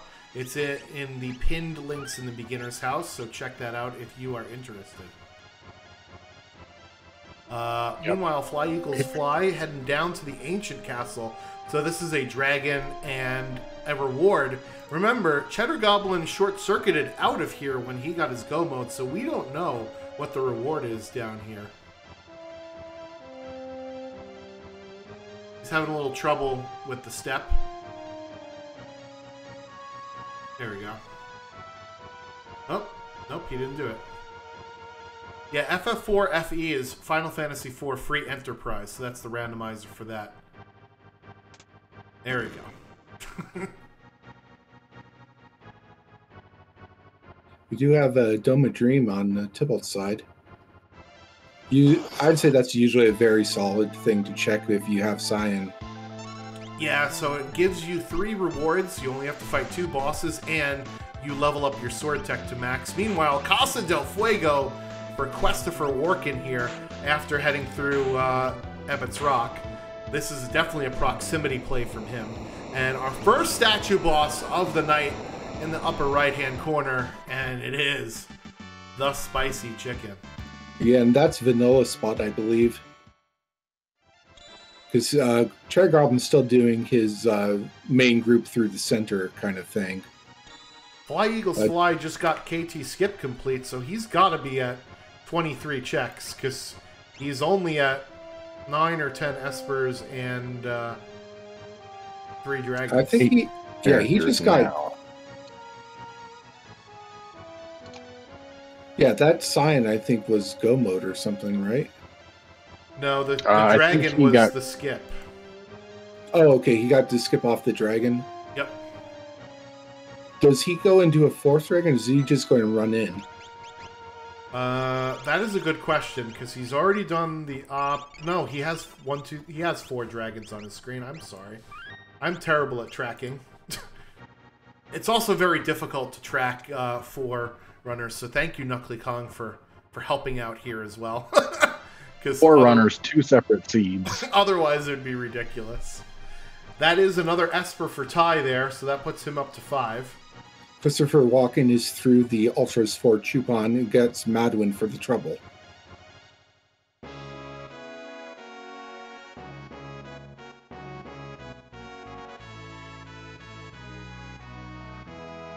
So that was an Esper, yeah, at uh, Yeah. House. Yep, perfect.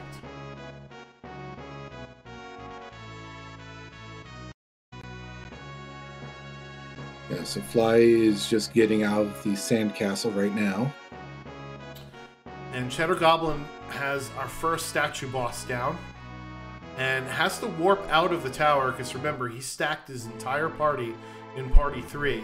So now he has to walk back through Kefka's tower in order to uh, go ahead and fight the other two statues. The good news for him is that those side statues are going to be much easier than Fly Eagles Fly, but the problem is he's up against a ticking clock, as we'll see the power of Kefka Tower skip here on Fly Eagles Fly screen.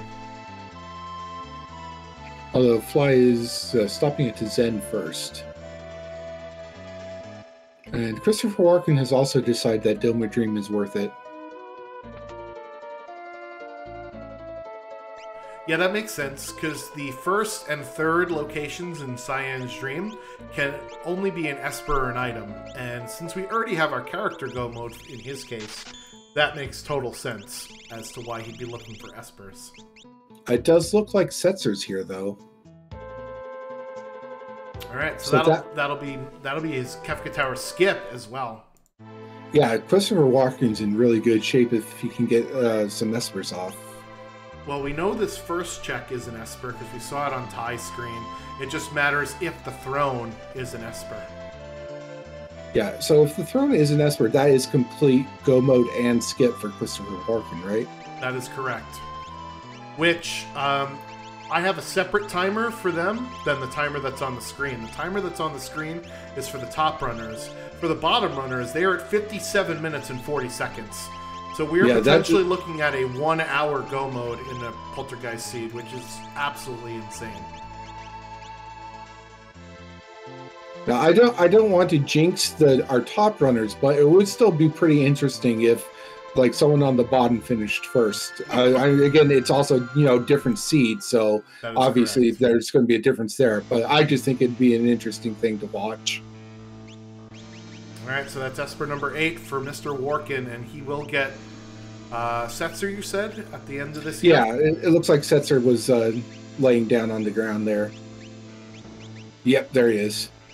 Natural jump Setzer as well.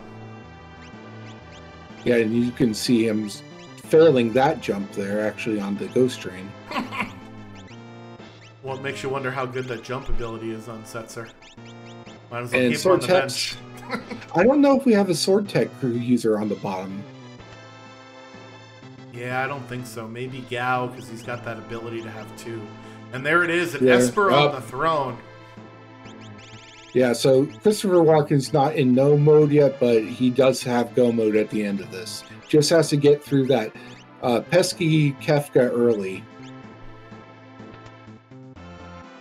Meanwhile, great um, turnaround for Ty here after struggling through a couple of early fights, as he's only three Espers away from go mode as well. And Setzer has some very fast checks. He's got the Kohlingen, he's got that Search the Sky, which is super fast, and you only have to, uh, and rather, it's only an Esper and item reward. And then Darill's Tomb, you can actually peek what the reward is first, so. Not bad. Right. So the real question here is whether that tower skip is going to give Eagles the edge here. Well, this is his first boss here, his first statue boss of Goddess. That is an economizer for Tybalt there at uh, the Colon Inn, so not useful to him now. However, when he learns Ultima, that will certainly be of very much use to him. I think he is still working on uncursing the shield. I think he might have gotten an Esper that teaches it. I think, Yeah, Golem teaches think- uh, Ultima. yeah. Okay.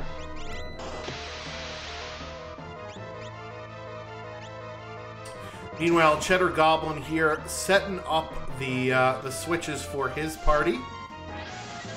Uh, Fly Eagles Fly is not having much luck with this goddess, I think. No. Uh oh. Oh, never mind. I take that back. Cheddar Goblin accidentally deleted the weight.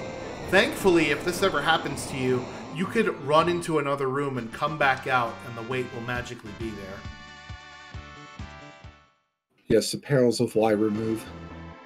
Yeah, you could I soft did not know Your, Y remove worked on the weights. yeah, you could soft lock yourself pretty hard with Y remove if you're not careful.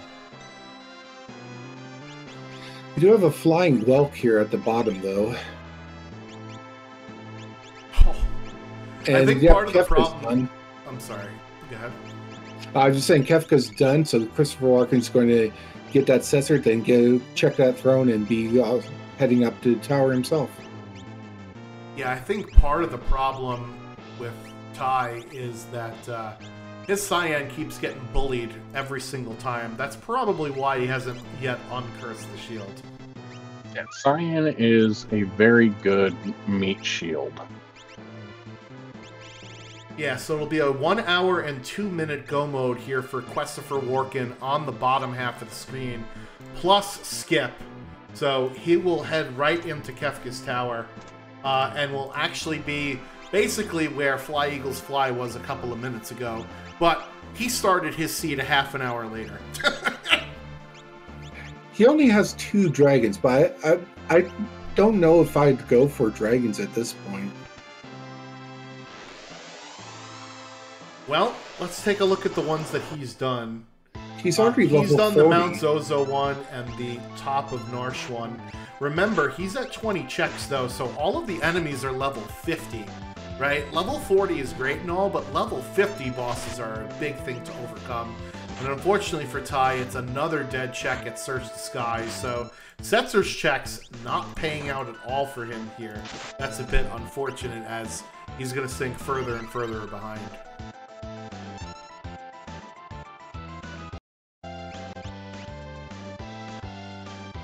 Do we know where uh, Kwestopher Warken got those three extra espers from?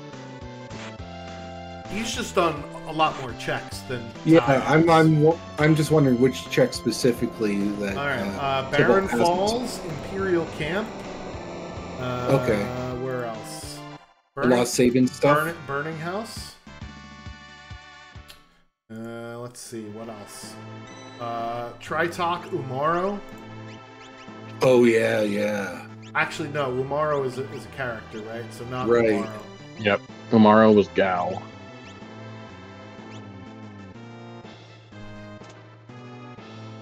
Ooh, some enhancers here in the shop for Tybalt. Plus seven to your magic power for those. Those are a really good pickup for any magic user that you have. Cheddar Goblin, meanwhile, going up against his second statue boss here, Doom, after taking out the Dabbing Yeti.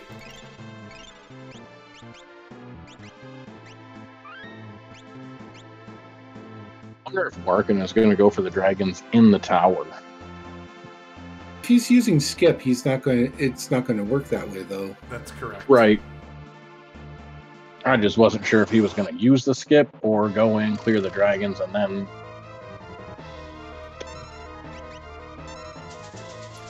go back. All right, Magitech Factory it is for Tybalt. If he gets Esper, Esper, Esper, he's also in go mode here after this check. Now it's the spicy chicken for Fly Eagles Fly. We hope he bought his blue cheese. And it looks like he has in the form of an offering Valiant Knife doing 7,000 a swing for a grand total of 28,000 per turn. That was Actually glorious. that was glorious. That's that's the kind of like damage you tell your grandchildren about. Phil Swift, that's a lot of damage.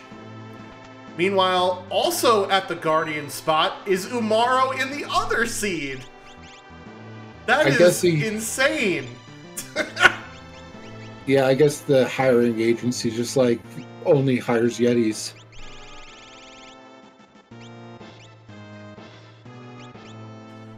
Yeah, and uh, Tybalt's finding some noodles there. Yeah, remember this was the fight that he reset out of very early on in the seed. Now has much more HP and can afford to come back here and start swinging at the grabby pasta. That Doom goes down.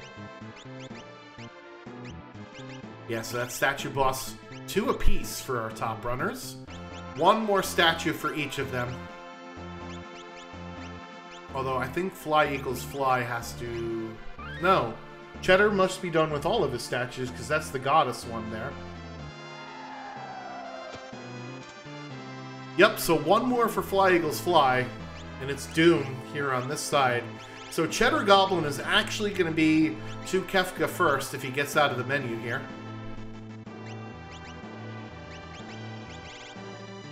And that is our Dabbing Yeti down for Kwestopher Warken. It feels like the both of the top runners are trying to just make sure that they got all ever like you know all their ducks in a row for these final fights. A lot of menuing going on. Oh, yep. All right, so we Cheddar Goblin is going into the Kefka fight now.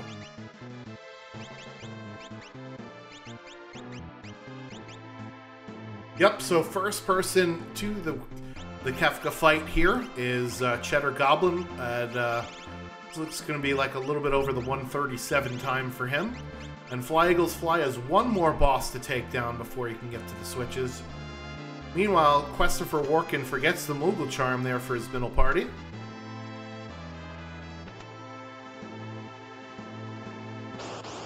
It looks like Tybalt is still having a bit of trouble with the noodles. Yeah, this grabby pasta, they can slow you down and it just makes the fight longer. That's what she said. Um, so I mean, I'm trying fun. to feel like that cursed shield was cursed in more than one ways for Tybalt. Yeah. It's very red cyan. You should probably get his skin checked. He's blending in with his outfit there. Relm learning Ultima there, but not uncursing the shield. Still. The Exo misses the long arm, unfortunately, on Cheddar's side. And that is Shoat for Tybalt there. So that's his seventh Esper. Let's try X Zone again. And there it is, taking down the long arm. Now we want to take down the head, which is weak to fire. Because if we leave it for last, we def counter with Quake. And that is not Okay, good. fire is the one element we get to use this uh, flag set. Yeah, it looks like Cheddar No. Goblin has copious amounts of elemental skeins for both Mog and Go-Go alike. Questa for Working has Ultima Online for Relm with a gem box economizer. Yeah, that'll make quick work of basically anything. Unfortunately, you do get opens for counterattack in between your two spell casts. So there you saw Relm bit the dust before casting that second Ultima there. So, oh, Setzer barely hanging on.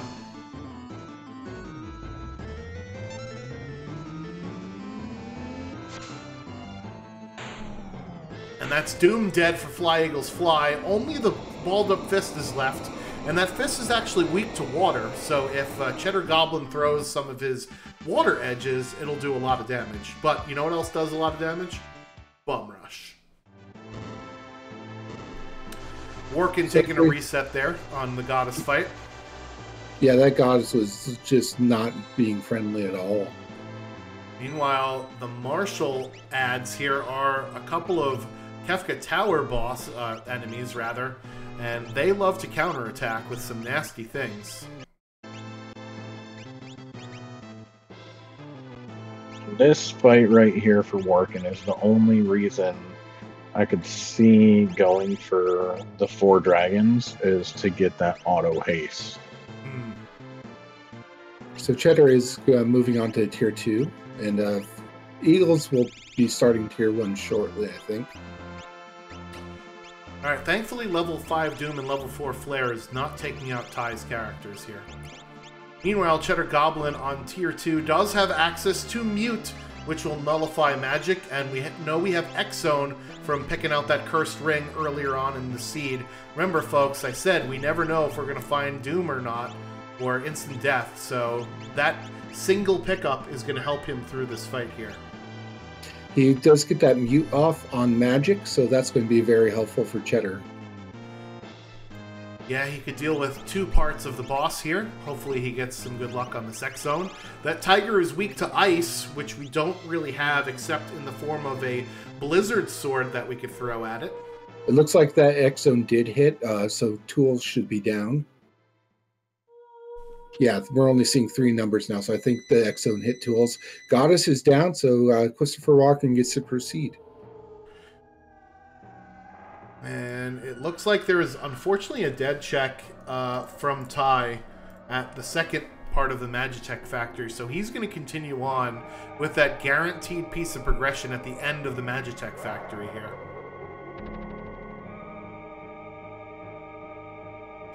So this Yeah. is going to be basically an arms race here between the jumps coming out from Edgar, the throw go, and the bum rush for Cheddar Goblin versus Fly Eagles Fly with that Valiant Knife offering Locke plus the accompanying damage from his other characters. So we'll see if Fly Eagles Fly has enough damage to cut into this lead here that Cheddar Goblin has thus far amassed.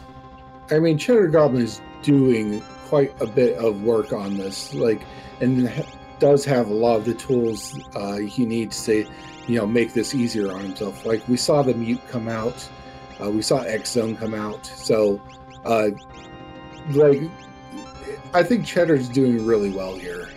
Yeah, I'm taking a look at the spells that uh, Fly Eagles Fly has. He does have access to Break, which will work for the long arm, but does not work for tools in Phase 2. So slight advantage to Cheddar Goblin there. Again, that Cursed Ring pickup very early in the seed, coming back in spades here for Cheddar Goblin. Meanwhile, I think we have two more statues left for Kwestopher Warken on the bottom, Doom and Poltergeist. Remember, it's the top runners are running against one another, and the bottom runners are running against one another.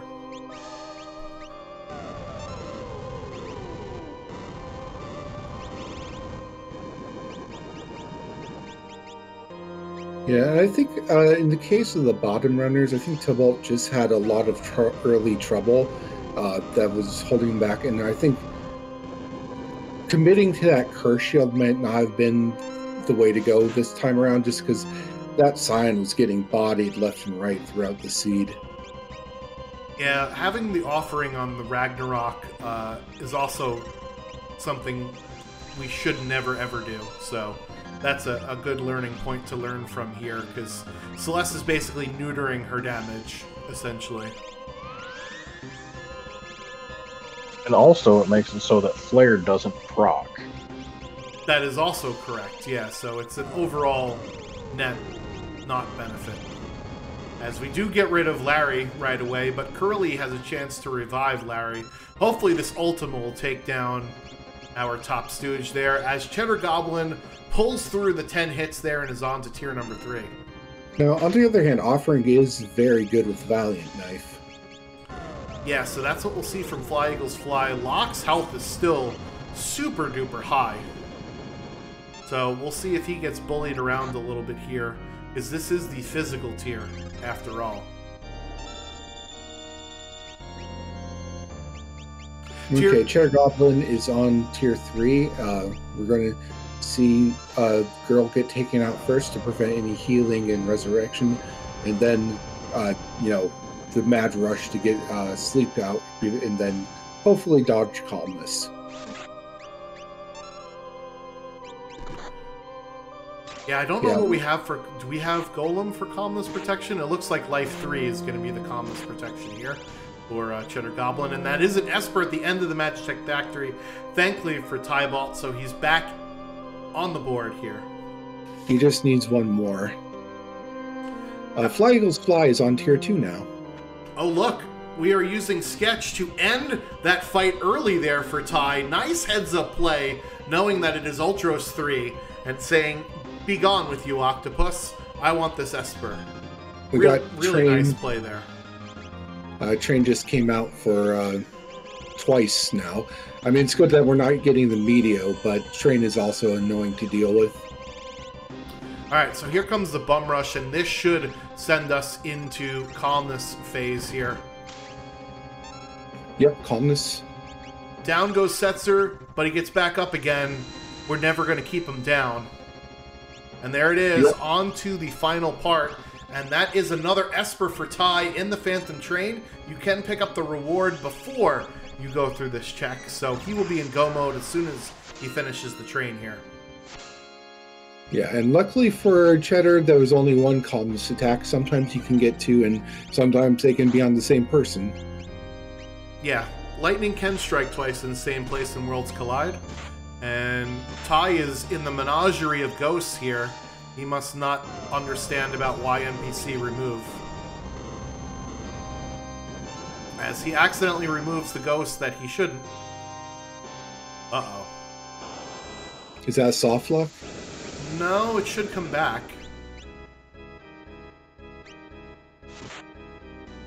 If he goes back in, he has to go up and the ghost will come back.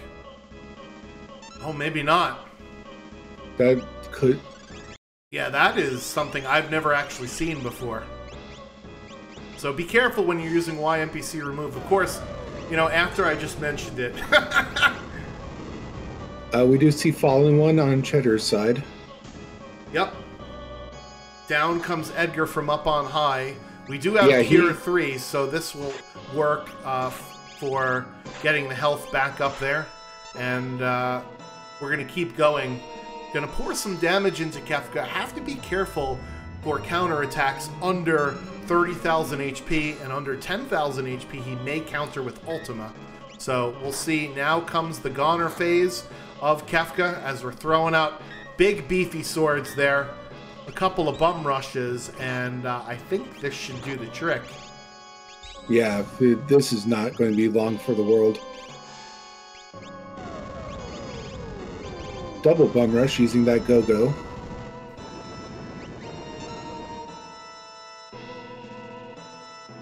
And there it is. There Cheddar Goblin with the crack pow. 147.38 is his official time. And that also means that uh, his uh, team, which is uh, team. Oh, God, I don't remember. Uh, is going to even up their series at one game apiece.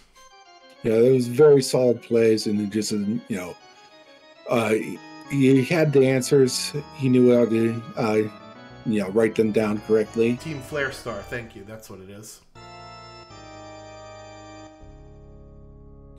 So GG's to Cheddar. And Tybalt is now getting through that uh, after learning the hard way about Y remove. And it looks like Kwestopher Warken had to reset out of the Poltergeist the first time. Yeah, Poltergeist at level 55 is no joke. Uh, Fly Eagles Fly is at tier 3, uh, so it's going to be dealing with calmness shortly, and then on to Final Kefka.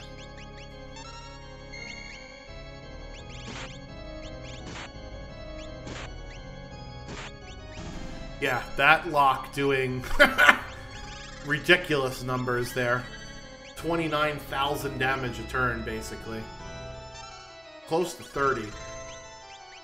And Warken having a little trouble here at Poltergeist. He better be careful because Ty will definitely catch up to him now that he's actually figured out the Phantom Train.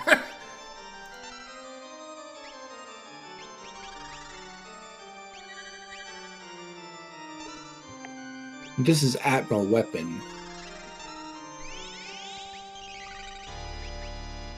Yeah, so Ty just checked his uh, his uh, config menu, and he is at 20 checks after this one there. So he just has to do one more, and we'll get Kefka Tower skip. So one of the other things you can do to dodge calmness is just dodge it, which Locke just did. So sometimes that's also an effective strategy. Yeah, so make sure you tell Cheddar Goblin in his chat, GG. Although I think he just went offline, so I'm sorry for the delay on that. Should have definitely said that earlier.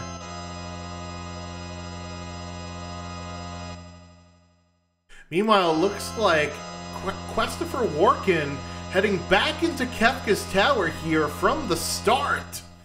So they're going to have to get through the Inferno spot and then a full party onto the Poltergeist spot, while Ty is going to be able to take on this dragon and then skip to the statue. So this race is a lot closer than it was about 10 minutes ago, folks. Looks like Kwestopher Warken forgot about Moogle charms too. No thanks, I don't want that remedy. Please leave me alone. Fallen one coming out for Fly Eagles Fly, however. this is where Locke gets the shine here, as he's got that Valiant Knife offering. Okay, yeah, so Opera House Dragon for Tybalt. Possibly trying for those four dragons. That is insane damage there. that is Oh, yeah, well, I mean- 33,000 damage out from Locke in that one turn. Kefka only has 60,000 HP health, by the way. Yeah, with um, you know, Valiant Knife and Locke on one HP, that thing's going to be doing some work for him. Does also have uh, life 3 from the previous fight, and this is going to end it right here. So after this, that'll be GG for Fly Eagles Fly 151.43. So get your GGs in chat for him as well. A pretty close race, all things considered. Make sure you tell him GGs in his chat as well. So now that the other race is over, folks, do we want to give this a try? of switching back to the other the other stuff. Let's do it. Let's do it Yeah, here. We got dragons uh, being fought all over the place on the bottom, or the race that's still going on. That looks pretty good.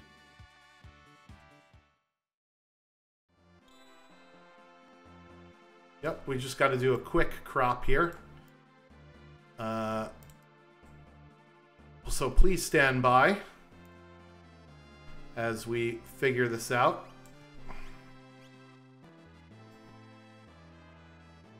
It's much easier said than done when you are changing menus here for cropping.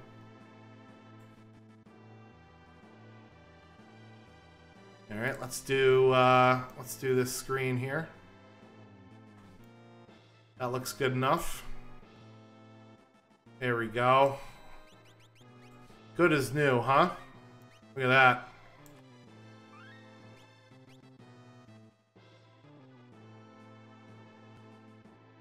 One thing that I really like about this event is it seems like all of the runs are very close for finish times. All right, and we are joined by Cheddar Goblin, the winner of the Fly Eagles Fly Cheddar Goblin race. Congratulations on your victory. GG's to you. Yes, thank you. That was really fun. I think you did a fantastic job of navigating this seed. Buying that curse ring early on in the seed paid off with you getting to X zone a few parts of Final Kefka and uh, getting uh, to just basically carve through the seed with uh, some of the great things that we had on offer between Throw and Go-Go, and then getting Bum Rush at the very end to seal the deal. Tell us a little bit about your strategy for a Poltergeist seed. Well, my main thing is that I always push the scaling up too fast, so I play a little conservatively. If a check doesn't seem worthwhile, I I book it. Um, and then I, I don't know. I mean, that's about it as far as that goes. I just got to make sure I'm ahead of scaling is really what I'm worried about mostly. I like to hit up the Coliseum early if I can to get those, um, like a random Aura Lance or you know the Dragoon set basically. And it, and it was nice to get that Aura Lance early and put on Mog. I, I like that a lot. But other than that, gotta be honest, I don't have a strategy. Just don't get don't get overscaled. Yeah, so there is a uh, pretty linear seed in the, I think your guy's seed where uh, you had to get your character from Ebot's Rock after you got mm-hmm. Strago from uh, um, oh where the heck was Strago?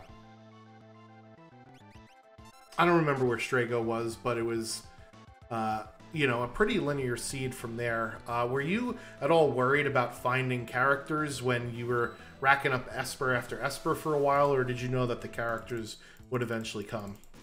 Uh, no, I was actually kind of worried because I felt like uh, my party was really only had one character carrying it for a long time. Um, you know, Mog with the throw, and uh, so yeah, that was actually a concern for me for a lot of the speed. Um, because I wasn't sure what kind of Locke didn't seem to be providing any offense for me, and uh, Go Go, you know, he's great, but uh, you know, he's limited. And uh, Setzer, I don't feel like Setzer had any oomph till the end there. But I could have uh, been neglecting uh, Setzer's abilities. I, I also had a hard time with money mm. in the seed. Were uh, you uh, planning from the start to try and get go for bum rush, or did that just sort of say come up when you looked at what you had together and said, "Oh, I'm only a couple levels away from getting bum rush for Setzer"? When I went down and killed Opera House Dragon and I got an experience egg, I went, okay, well, I'm killing more dragons until I can get Bum Rush. That was that's what clinched it for me. If I hadn't uh, got that experience egg, I probably wouldn't have considered it, or it would only have been like an afterthought. All right, so focusing back on this race at hand real fast, Tybalt, with his 21 checks, was able to skip right to the statues here, so he has to finish out this four boss gauntlet. Meanwhile, Kwestopher Warken, remember, warped out of the tower and is now walking back through it, taking out Guardian at the Inferno spot and taking on his fourth dragon here. So he will get that uh, combined auto safe, auto-haste. That was something I don't think, Cheddar, that you ended up doing was the, uh, the four dragons there. Um, was that just a, you felt like you were strong enough thing? Or didn't want to add some time to your run? No, I actually made an effort to get four dragons. I don't know which ones did I kill. I killed the two in the Kefka's Tower. Oh, that's right. You did the Kefka's Tower thing. I for, I completely forgot about that. Yeah, yes. I think I think he, I think you got the, uh, and you did the full clear, House. the full clear up the middle. Yes, that's right. I'm sorry. Yeah, I didn't think that I could split my party in a strategic way. Um, it just I don't know. The, sometimes those statues can really smack you down. Uh oh. So it's Dirt Dragon solo against the Raging Celes. Who is going to win here? Cat Scratch Fever. We'll see if uh, Dirt Dragon comes down to that eight attack there, and there it goes.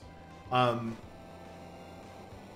so yeah, we'll bring in Fly Eagles Fly as well. So Fly Eagles Fly, congratulations on finishing out that seed. Your Locke with that Valiant knife that you found in the South Figaro basement and the offering doing a heck of a lot of work there towards the end of the seed. Yeah, I saw the Valiant Knife and I was hoping to get a Locke. And once I got him, I was like, I know where the offering's at. And I was like, going to use that the whole time, even though he was a natural magic. And uh, unfortunately, Cheddar, that also meant you missed out on the Valiant Knife and the Experience Egg down in the South Figaro basement. Was that something you were going to come back to at some point, or just you were just like, well, I'm a lot into my looting phase now. Let's just continue to go. Well, first off, I have to say I'm jealous. I would have loved a Locke with VK offering, but uh, but uh, no, I I just I looked at my time. I've been getting advice on looking at time for looting, and I was like, look, the time for looting is over. Um, let's keep going. I didn't even think about going back. Nice. Um, so, Joker Mage, do we have any other questions for uh, for Cheddar here? Uh, just from regarding like um, the triads in general, like, uh, do you have you been able to play all three of the flag sets? Yeah, I uh we had like what the Battle Academy earlier, maybe the couple weeks before we Mhm. started up the competition, and uh, I made sure I played almost every one of them, even if I didn't report my time because I didn't finish. And uh, I have to say, um, the goddess goddess's edict is pretty nasty. As far as uh, Doom and Poltergeist, so uh, do you have uh, any preferences or anything that you do differently in one in versus the other? I feel like it's easier to go in Doom. I don't know why. I guess it just seems like the physical attackers are just a little more OP and I don't know. I want to see Umaro. I want I want to get in a seed and see Umaro. Oh, See, hyperdrive. I, I feel the same way. Yeah, so unfortunately, in the race we've got on the screen here, Kwestopher Warken having to warp out because of party compositional issues, and Tybalt taking a hyperdrive to the face against Goddess. Those level 50 statues, they don't play around, Cheddar. no, I don't like the stat. The statues are difficult, much more difficult for me anyway with these seeds, but it makes it fun. Uh, any Steven other. I'm sorry, go ahead, Joker. I was just going to say that uh, Tybalt validated the seed. That was a fire rod in the Poltergeist chest. of course. Uh, any other thoughts on uh, the race or the event in general, Cheddar? You know, I just honestly, I'm just grateful for everyone in this community that's helped me, you know, improve over the last couple months. It's a pretty great place to be, and I'm glad to be here. Yeah, so thank you so much for volunteering to be on Restream. We can't have the races without the runners, and we will certainly help work through some of your fun OBS things that we were trying to do before the stream uh, at another juncture. But again, thank you for volunteering and for uh, hopping in the booth with us to share your thoughts. Really appreciate that. Yeah, thank y'all for, you know, letting me talk a little bit. Appreciate it. Congrats on evening it up for your team. The tiebreaker race will be later tonight at 11 p.m. Eastern. So starting in about 40 minutes or so, that should be a cool one to uh, to pay attention to. So thank you so much, and uh, we'll catch you later. Yep. Bye bye. All right, Fly Eagles Fly. Questions for you about the Poltergeist Fury flag set in general. Do you have a strategy that you tended to go to, and did you adhere to that in this race or not? Uh, yeah, like the one thing that I tried to adhere to is uh, getting the four dragons done, so that way you get the auto haste, so that way my team's a little bit faster. But uh, mostly just go through like how I normally do, like on like an Ultros League, just with the looting. But then having that uh, YNPC disappear really helps out to open up. Uh, always going to Magitech Factory to get that done. Yeah, so we did see some sequence breaking a little bit along the way. Um, the curse shield count, and I I forgot to ask this of Cheddar, but thankfully he's still in here, was 20. Uh, that was a bit too much, I think, for both of you. Am I right? I didn't Yeah, I want it. I saw 20 and I was like, nope, not trying it. Yeah, the, the, the, the Paladin shield is great, learning Ultima is great, but 20 battles is an awful long time to have one of your characters sort of be out of commission there. So, um, so yeah, Fly Eagles Fly, your strategy was uh, let's use this Locke with the Valiant Knife and let him carry me through basically a lot of the seed there. Um, and you ended up getting the check skip for uh, for Kefka's Tower. Was that something you set your eyes on when you saw the requirements, or did it just happen to fall into place when you were going through the seed? So it all depends on whether or not I go for it. Um, at the time, I knew I needed uh, to get either like one more character, uh, I mean one more Esper to unlock Kefka Tower, and knowing that I was at like 21 checks at that time, I was like, I only need a couple more just to get the skip, and that would help me out. But if I'm sitting at like 16, I've been doing on these uh, seeds, I'm just going straight to the tower and doing all three paths.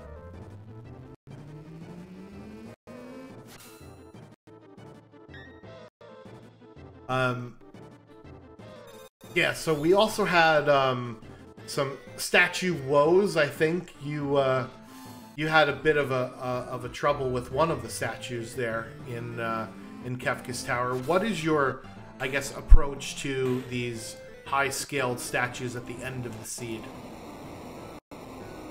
Uh, mostly just like looking at my party and thinking along the way, like who can take what.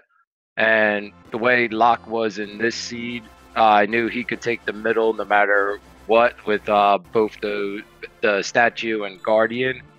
But uh, trying to think like who could take everything on. I know Strago had Ultima from the Esper that he learned it from, so I'm like he could do either right or left to try to help out.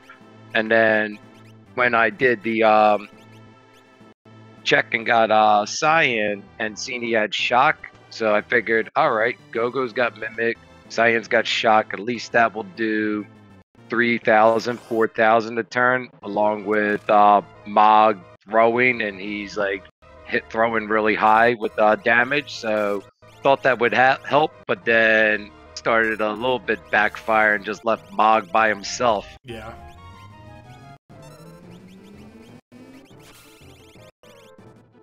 Also, not having access to instant death definitely slowed you down a little bit in your uh, in your Kefka climb. Although you did have break and Raiden, so you did make do with what you had as well. So that was good heads up game knowledge from you there as well. Uh, Joker Mage, you got any questions of uh, of Fly Eagles Fly?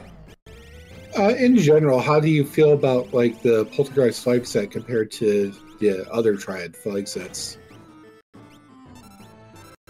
Um, actually, I like the Poltergeist more than the other ones.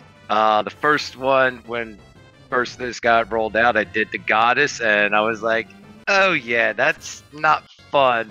Especially when you cast Life 3 and forgetting that they turn into zombies when they die, and then Life 3 cancels out. So, yeah, that was a little bit learning. Uh, Doom, it's basically just uh, keeping me in mind of like thinking it's like an Ultros League race and just like going right with it. But like favorite one, Poltergeist. Least favorite is the Goddess one.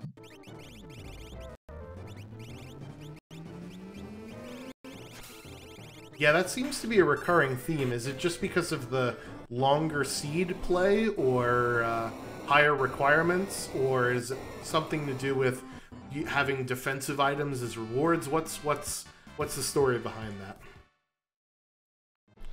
Uh, I think it's uh, mostly like deals with like the rewards that we get from uh, completing different things. Like in Poltergeist, like I didn't go to the Coliseum this time around, but in some seeds, I go to the Coliseum first to get uh, someone to be a dragoon. So it's nice to have that on the Poltergeist seed and having that going through. But then it's just trying to get used to which uh, having your uh, counter on in Goddess, trying to get used to that. But I kind of been playing around with um, having uh, condemned on my uh, team, so it's kind of getting me used to trying to use the weight trick with the counter on my team. So it's just trying to get familiar with that, and I think a lot of people aren't really familiar with it, so that's why Goddess could be a little bit of a trouble, especially if, for instance, you have Locke with a Valiant knife and he turns into a zombie and has that offer and starts going crazy on your party. So we do have uh, Tybalt is actually in the Kefka fight now. Yeah, it's unfortunate. Kwestopher Warken, I think, mixed up his party. And when you're not used to having to climb through Kefka's Tower and assign a particular group to a particular slot, this is kind of the muscle memory of Kefka's Tower working against you, unfortunately. And it's resulting in a, a very significant time loss here. Yeah, I mean, th- this is kind of why I just rely on that right hand swing play that we've discussed before, where you just pack the right side, go through the ambush, then clear out everything else that you can with that full party in the right. Uh, Fly Eagles Fly, you got any other uh, final thoughts uh, before we let you go here?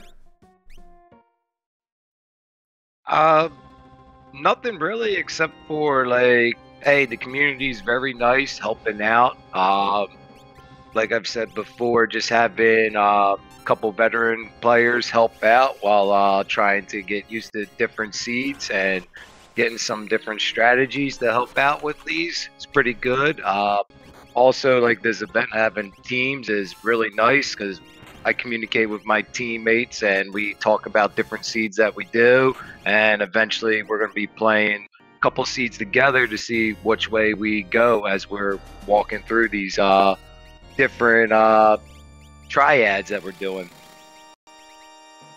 Nice. I'm glad you're enjoying it, and uh, we hope to see you again in another week. But uh, thank you for volunteering to be on Restream.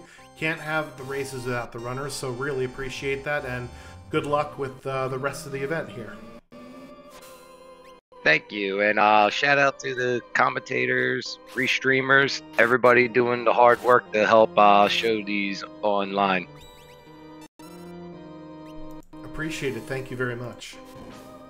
So um, we see some interesting stuff happening from Tybalt. Actually, he used uh, either Odin or Raiden to get rid of Longarm, and then also went ahead and used Golem. And uh, I think you know we have that multicast. You might as well use Golem more than once. Yeah, use it as many times as you want. Use it on tier one, which is mostly physical.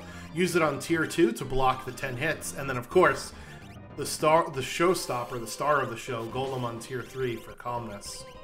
Yeah, what makes this whole event really interesting for me are those little tweaks that you don't usually see, like the multicast espers and uh, things like that, where it's suddenly like what you're used to from like Ultros League and other more standard flag sets just is upended.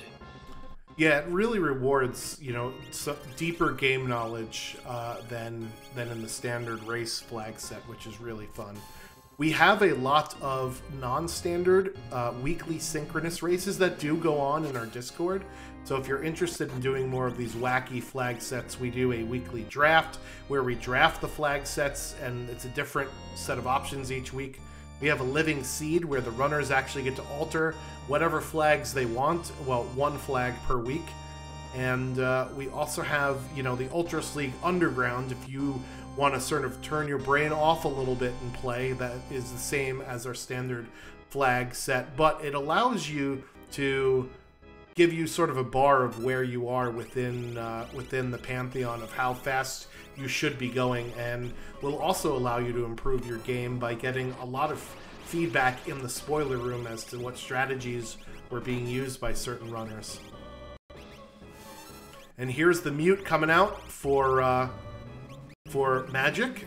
Uh, we do have an air anchor there for tools, so that'll take care of tools. Very nice heads up uh, mixing of both espers and abilities here as Kwestopher Warken finally gets back through Guardian a second time.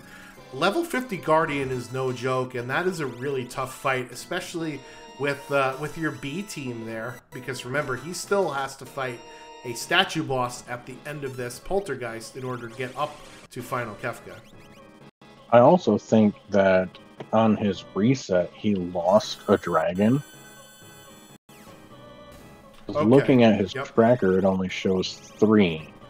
Yep, But- that is correct. Yeah, because he he realized after this room that uh, he uh, unfortunately was in the wrong slot for the party to take on the statues. But I wonder if Tybalt knows that offering is not the right play with the Ragnarok or with the Illumina because it looks like he still has the offering on his Celes with Ragnarok. Yeah, that'll certainly be a uh, teachable moment there. Uh, so, to, to kind of explain the why behind it a little bit more, because we kind of glossed over it. So, the Ragnarok has a critical property where if you have MP, it will do double damage all the time. So it will always do twice as much damage, and it has a chance to proc the flare spell. With the offering equipped, it does four attacks at half damage.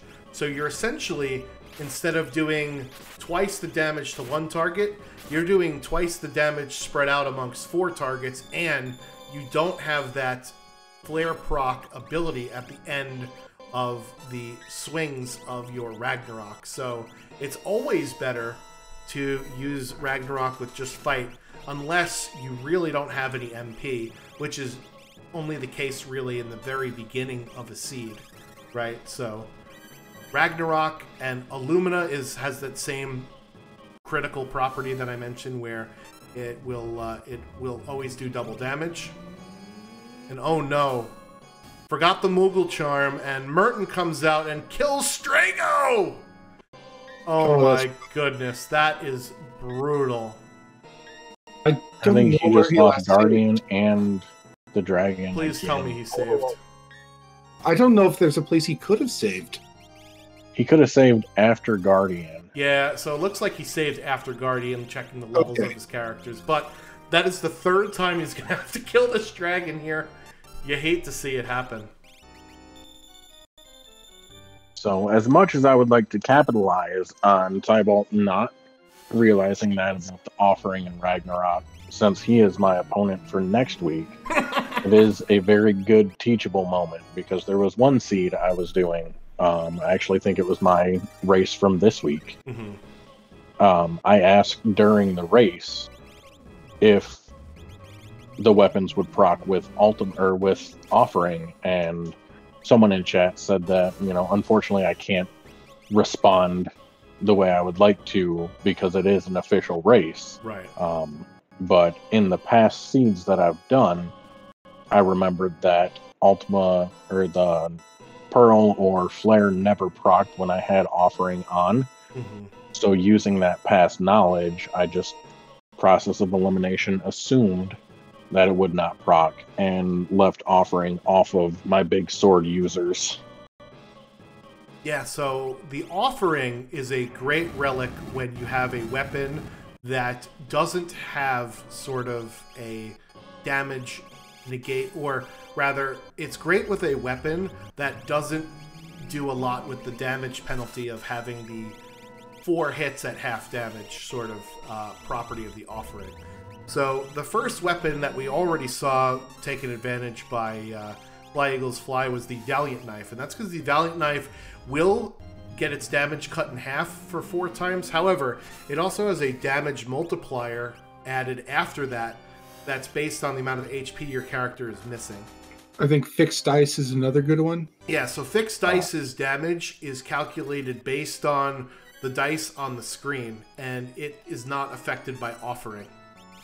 The, Does Atma weapon get affected by offering? So the Atma weapon will also get the damage half by offering, but it has another damage multiplier at the end that adds damage. Well, actually, it rather subtracts damage based on the amount of HP that you're missing, doing its maximum damage at full health. So it sort of negates part of the offering. And then the other one that we tend to use is the sniper, which does get the half damage penalty, but each swing of the sniper has a chance to proc for either one and a half times damage or three times damage if it's a floating target. So since the proc is every single swing, it makes up for that half damage penalty as we see Tybalt pushing through tier number three with that golem summon onto tier four here with his team. He does have life three, I think, on a bunch of his different characters, so he's got some insurance just in case Kefka decides to get a little bit rude here. But uh, we'll see how he goes with the final fight here. He seems to be doing pretty well though, and I'm not sure where what like all his uh, equipment or like sort of uh, damage dealing is. Is it mostly Ultima? I think it is Ultima. I think he's got Relm with Gembox Economizer Ultima combo. And we have Mog with Throw, and Cyan has Drill. Yeah, so I, it probably is Ultima going to be doing most of the work there, right? I would imagine so.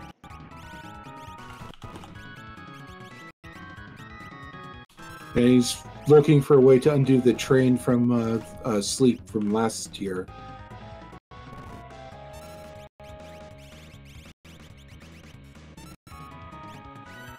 Fallen One is coming out.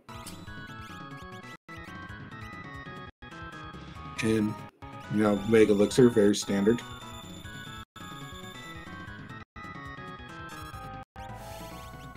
Oh, Mog has Ultima too. Yeah, so he'll supplement with Ultima in between throw. Just gotta be careful for the Ultima counter. Wait, does Mog have a gem box too? Uh, I think one of the dragon rewards in the tower was a gem box. Golem's coming out again.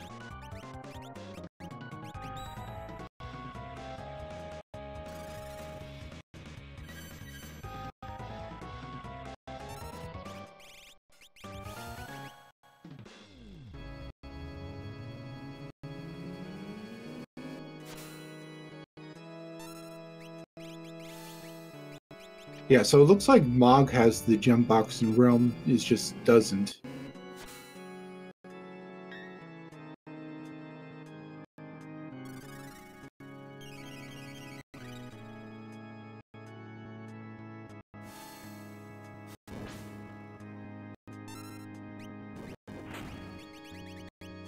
Okay. Ooh, hyperdrive counter to Celes, and it's time for Goner here. So now is the chance. Let's throw everything at the boss. So that is our double ultima, actually triple ultima in this case, and we'll see if that is enough damage to get through this fight. I Well, think the it will was- be. Yeah, Relm was doing quad nines and Bog was at least 9,000, I think. At that point, uh, he's got the Pearl Rod. I was going to say if Oh, Mog's think I did- doing almost nine. And there it is, the Boom Shakalaka 150.38 is uh, the time for Tybalt bringing it home for his team. That is the third win, so that is a sweep there for Team Doomgaze versus Team Atma. Get your GGs in chat for him, and we'll see if he wants to come in for an interview as well.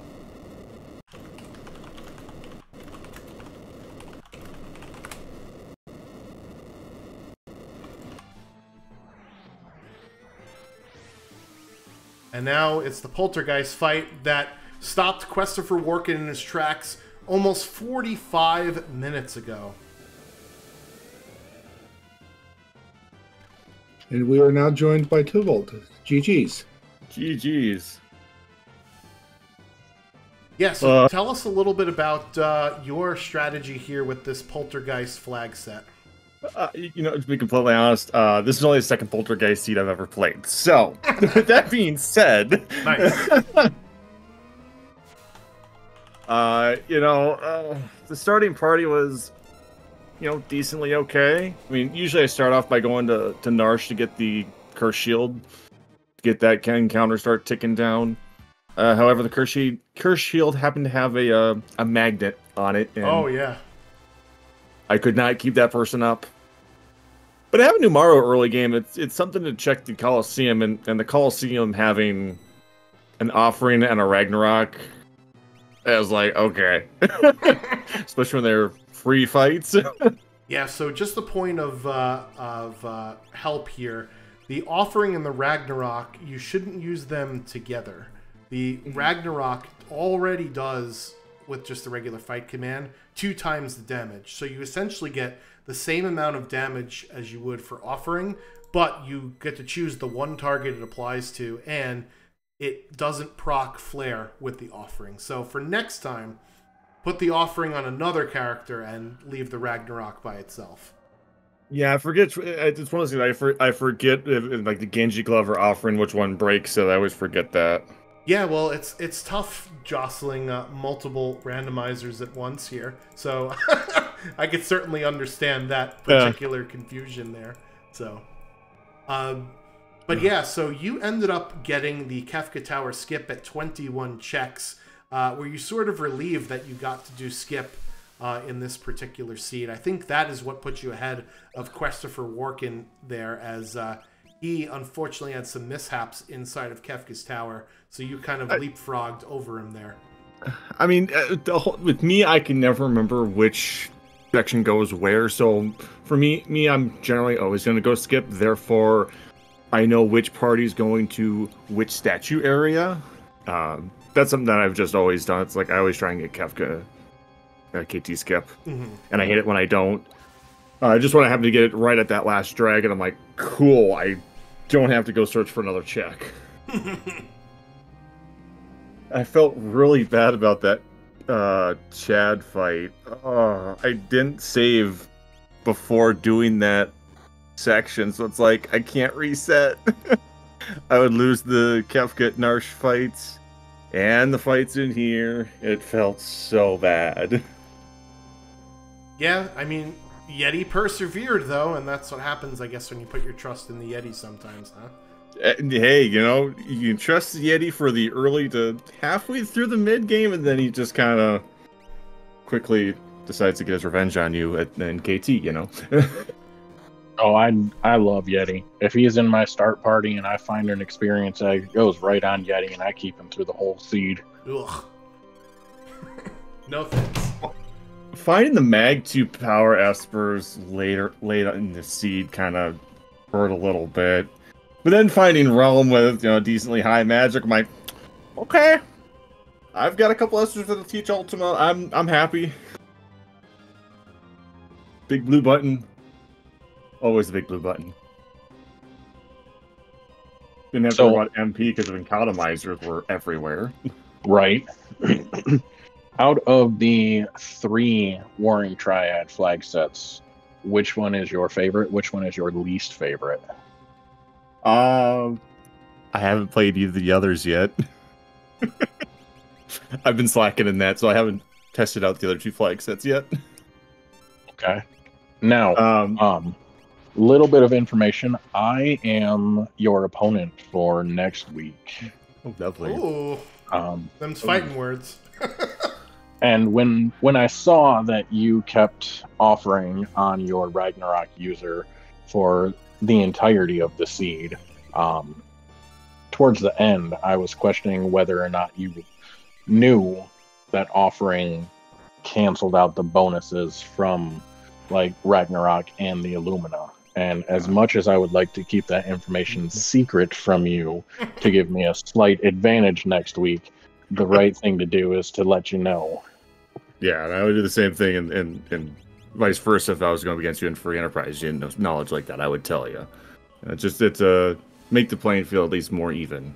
Oh, absolutely, yeah. and that's that's what I love about the community. I am rather new to it, um, and just the even without doing signing up for the actual mentoring program, there are so many people that just jump in and give advice. And the Warring Triads has been great because my teammates we have our own separate little thread and we share strategies with each other and they've actually watched some of my previous runs and gave me feedback on those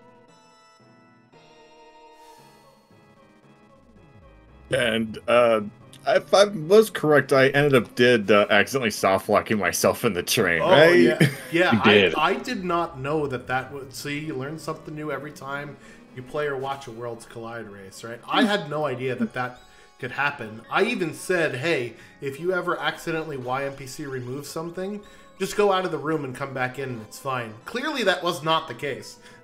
oh, you can do it there, and I think you can do it with Cid in uh, Magitech Factory. Kefka Imperial Camp as well is another yep. one where it's no good. So, yeah, thank you for uh, making that mistake so that we don't have to do that too. that was the commentator's curse Uh oh. Listen, learning things in Worlds Collide the hard way is the only way that I learn. hey, you know, you gotta learn somehow. Sometimes it's a hard lesson to learn, but you learned it. Um, any other thing you want to uh, point out from your run besides the Phantom Train mishap that you thought was interesting, funny questions for us?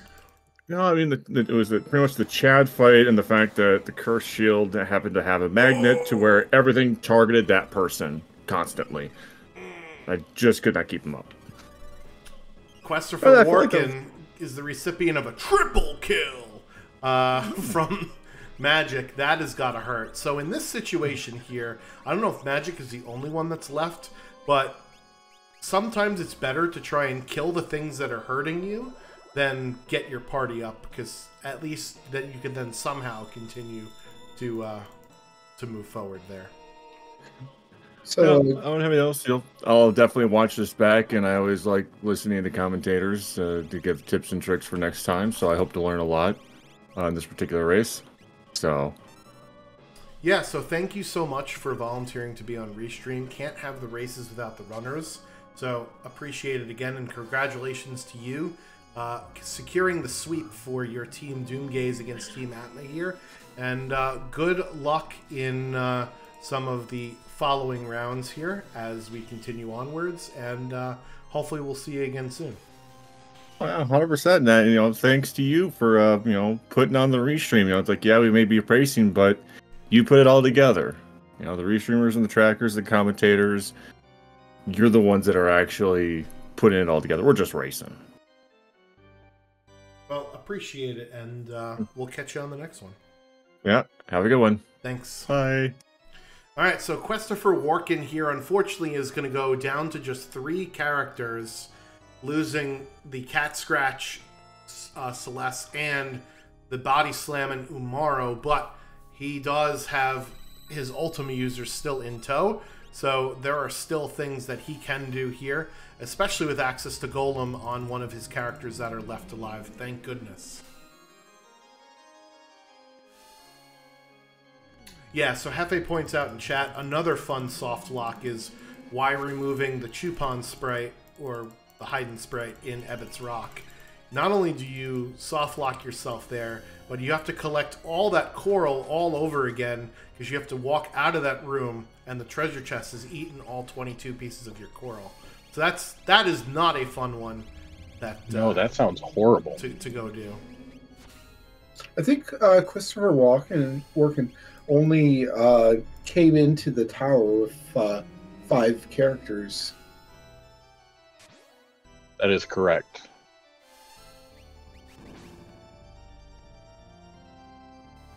Ignore the cropping that's going on on screen. That's setting up for the next race. Yes, a third race of this triple header.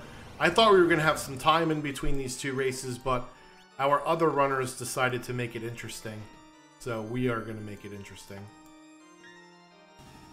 And there's the block from Calmness there. Strago scooting by. I think he will be the uh, the person that basically uh, just hooks up the team with some health here in uh, the start of Final Kefka. How much power does this team have, like in terms of offense, right now? I think Mog's the jumper, and then Relm is Ultima. Economizer. So as long as there's nothing really surprising, he should have enough to get through this, right? Oh, he should.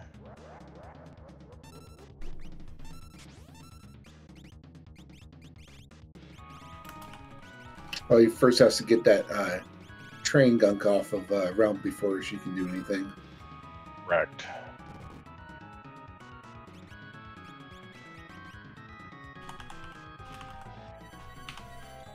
Got the fallen one, but yeah. Strago should be able to get a heal off. Yeah, Mog was already in the air, so dodge that, so that's helpful.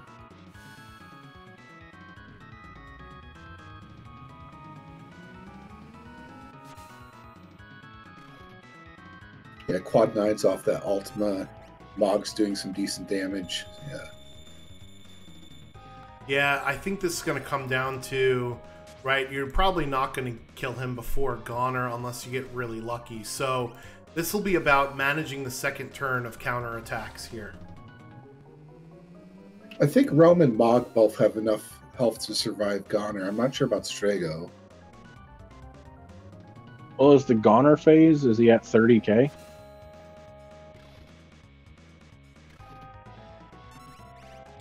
Uh, yes, Okay, here's Goner. because otherwise he'll go he'll cycle back to Fallen One. So it was close with Relm doing quad nines twice. I think he's just going for it. I mean, at this point, you just YOLO. There it is, Yep, the yep. YOLO 150 38. Oh no, I'm sorry. That's Ty's time. Kwestopher Warken is trying to dot done now, but did it in all caps by mistake. 20440 is his time.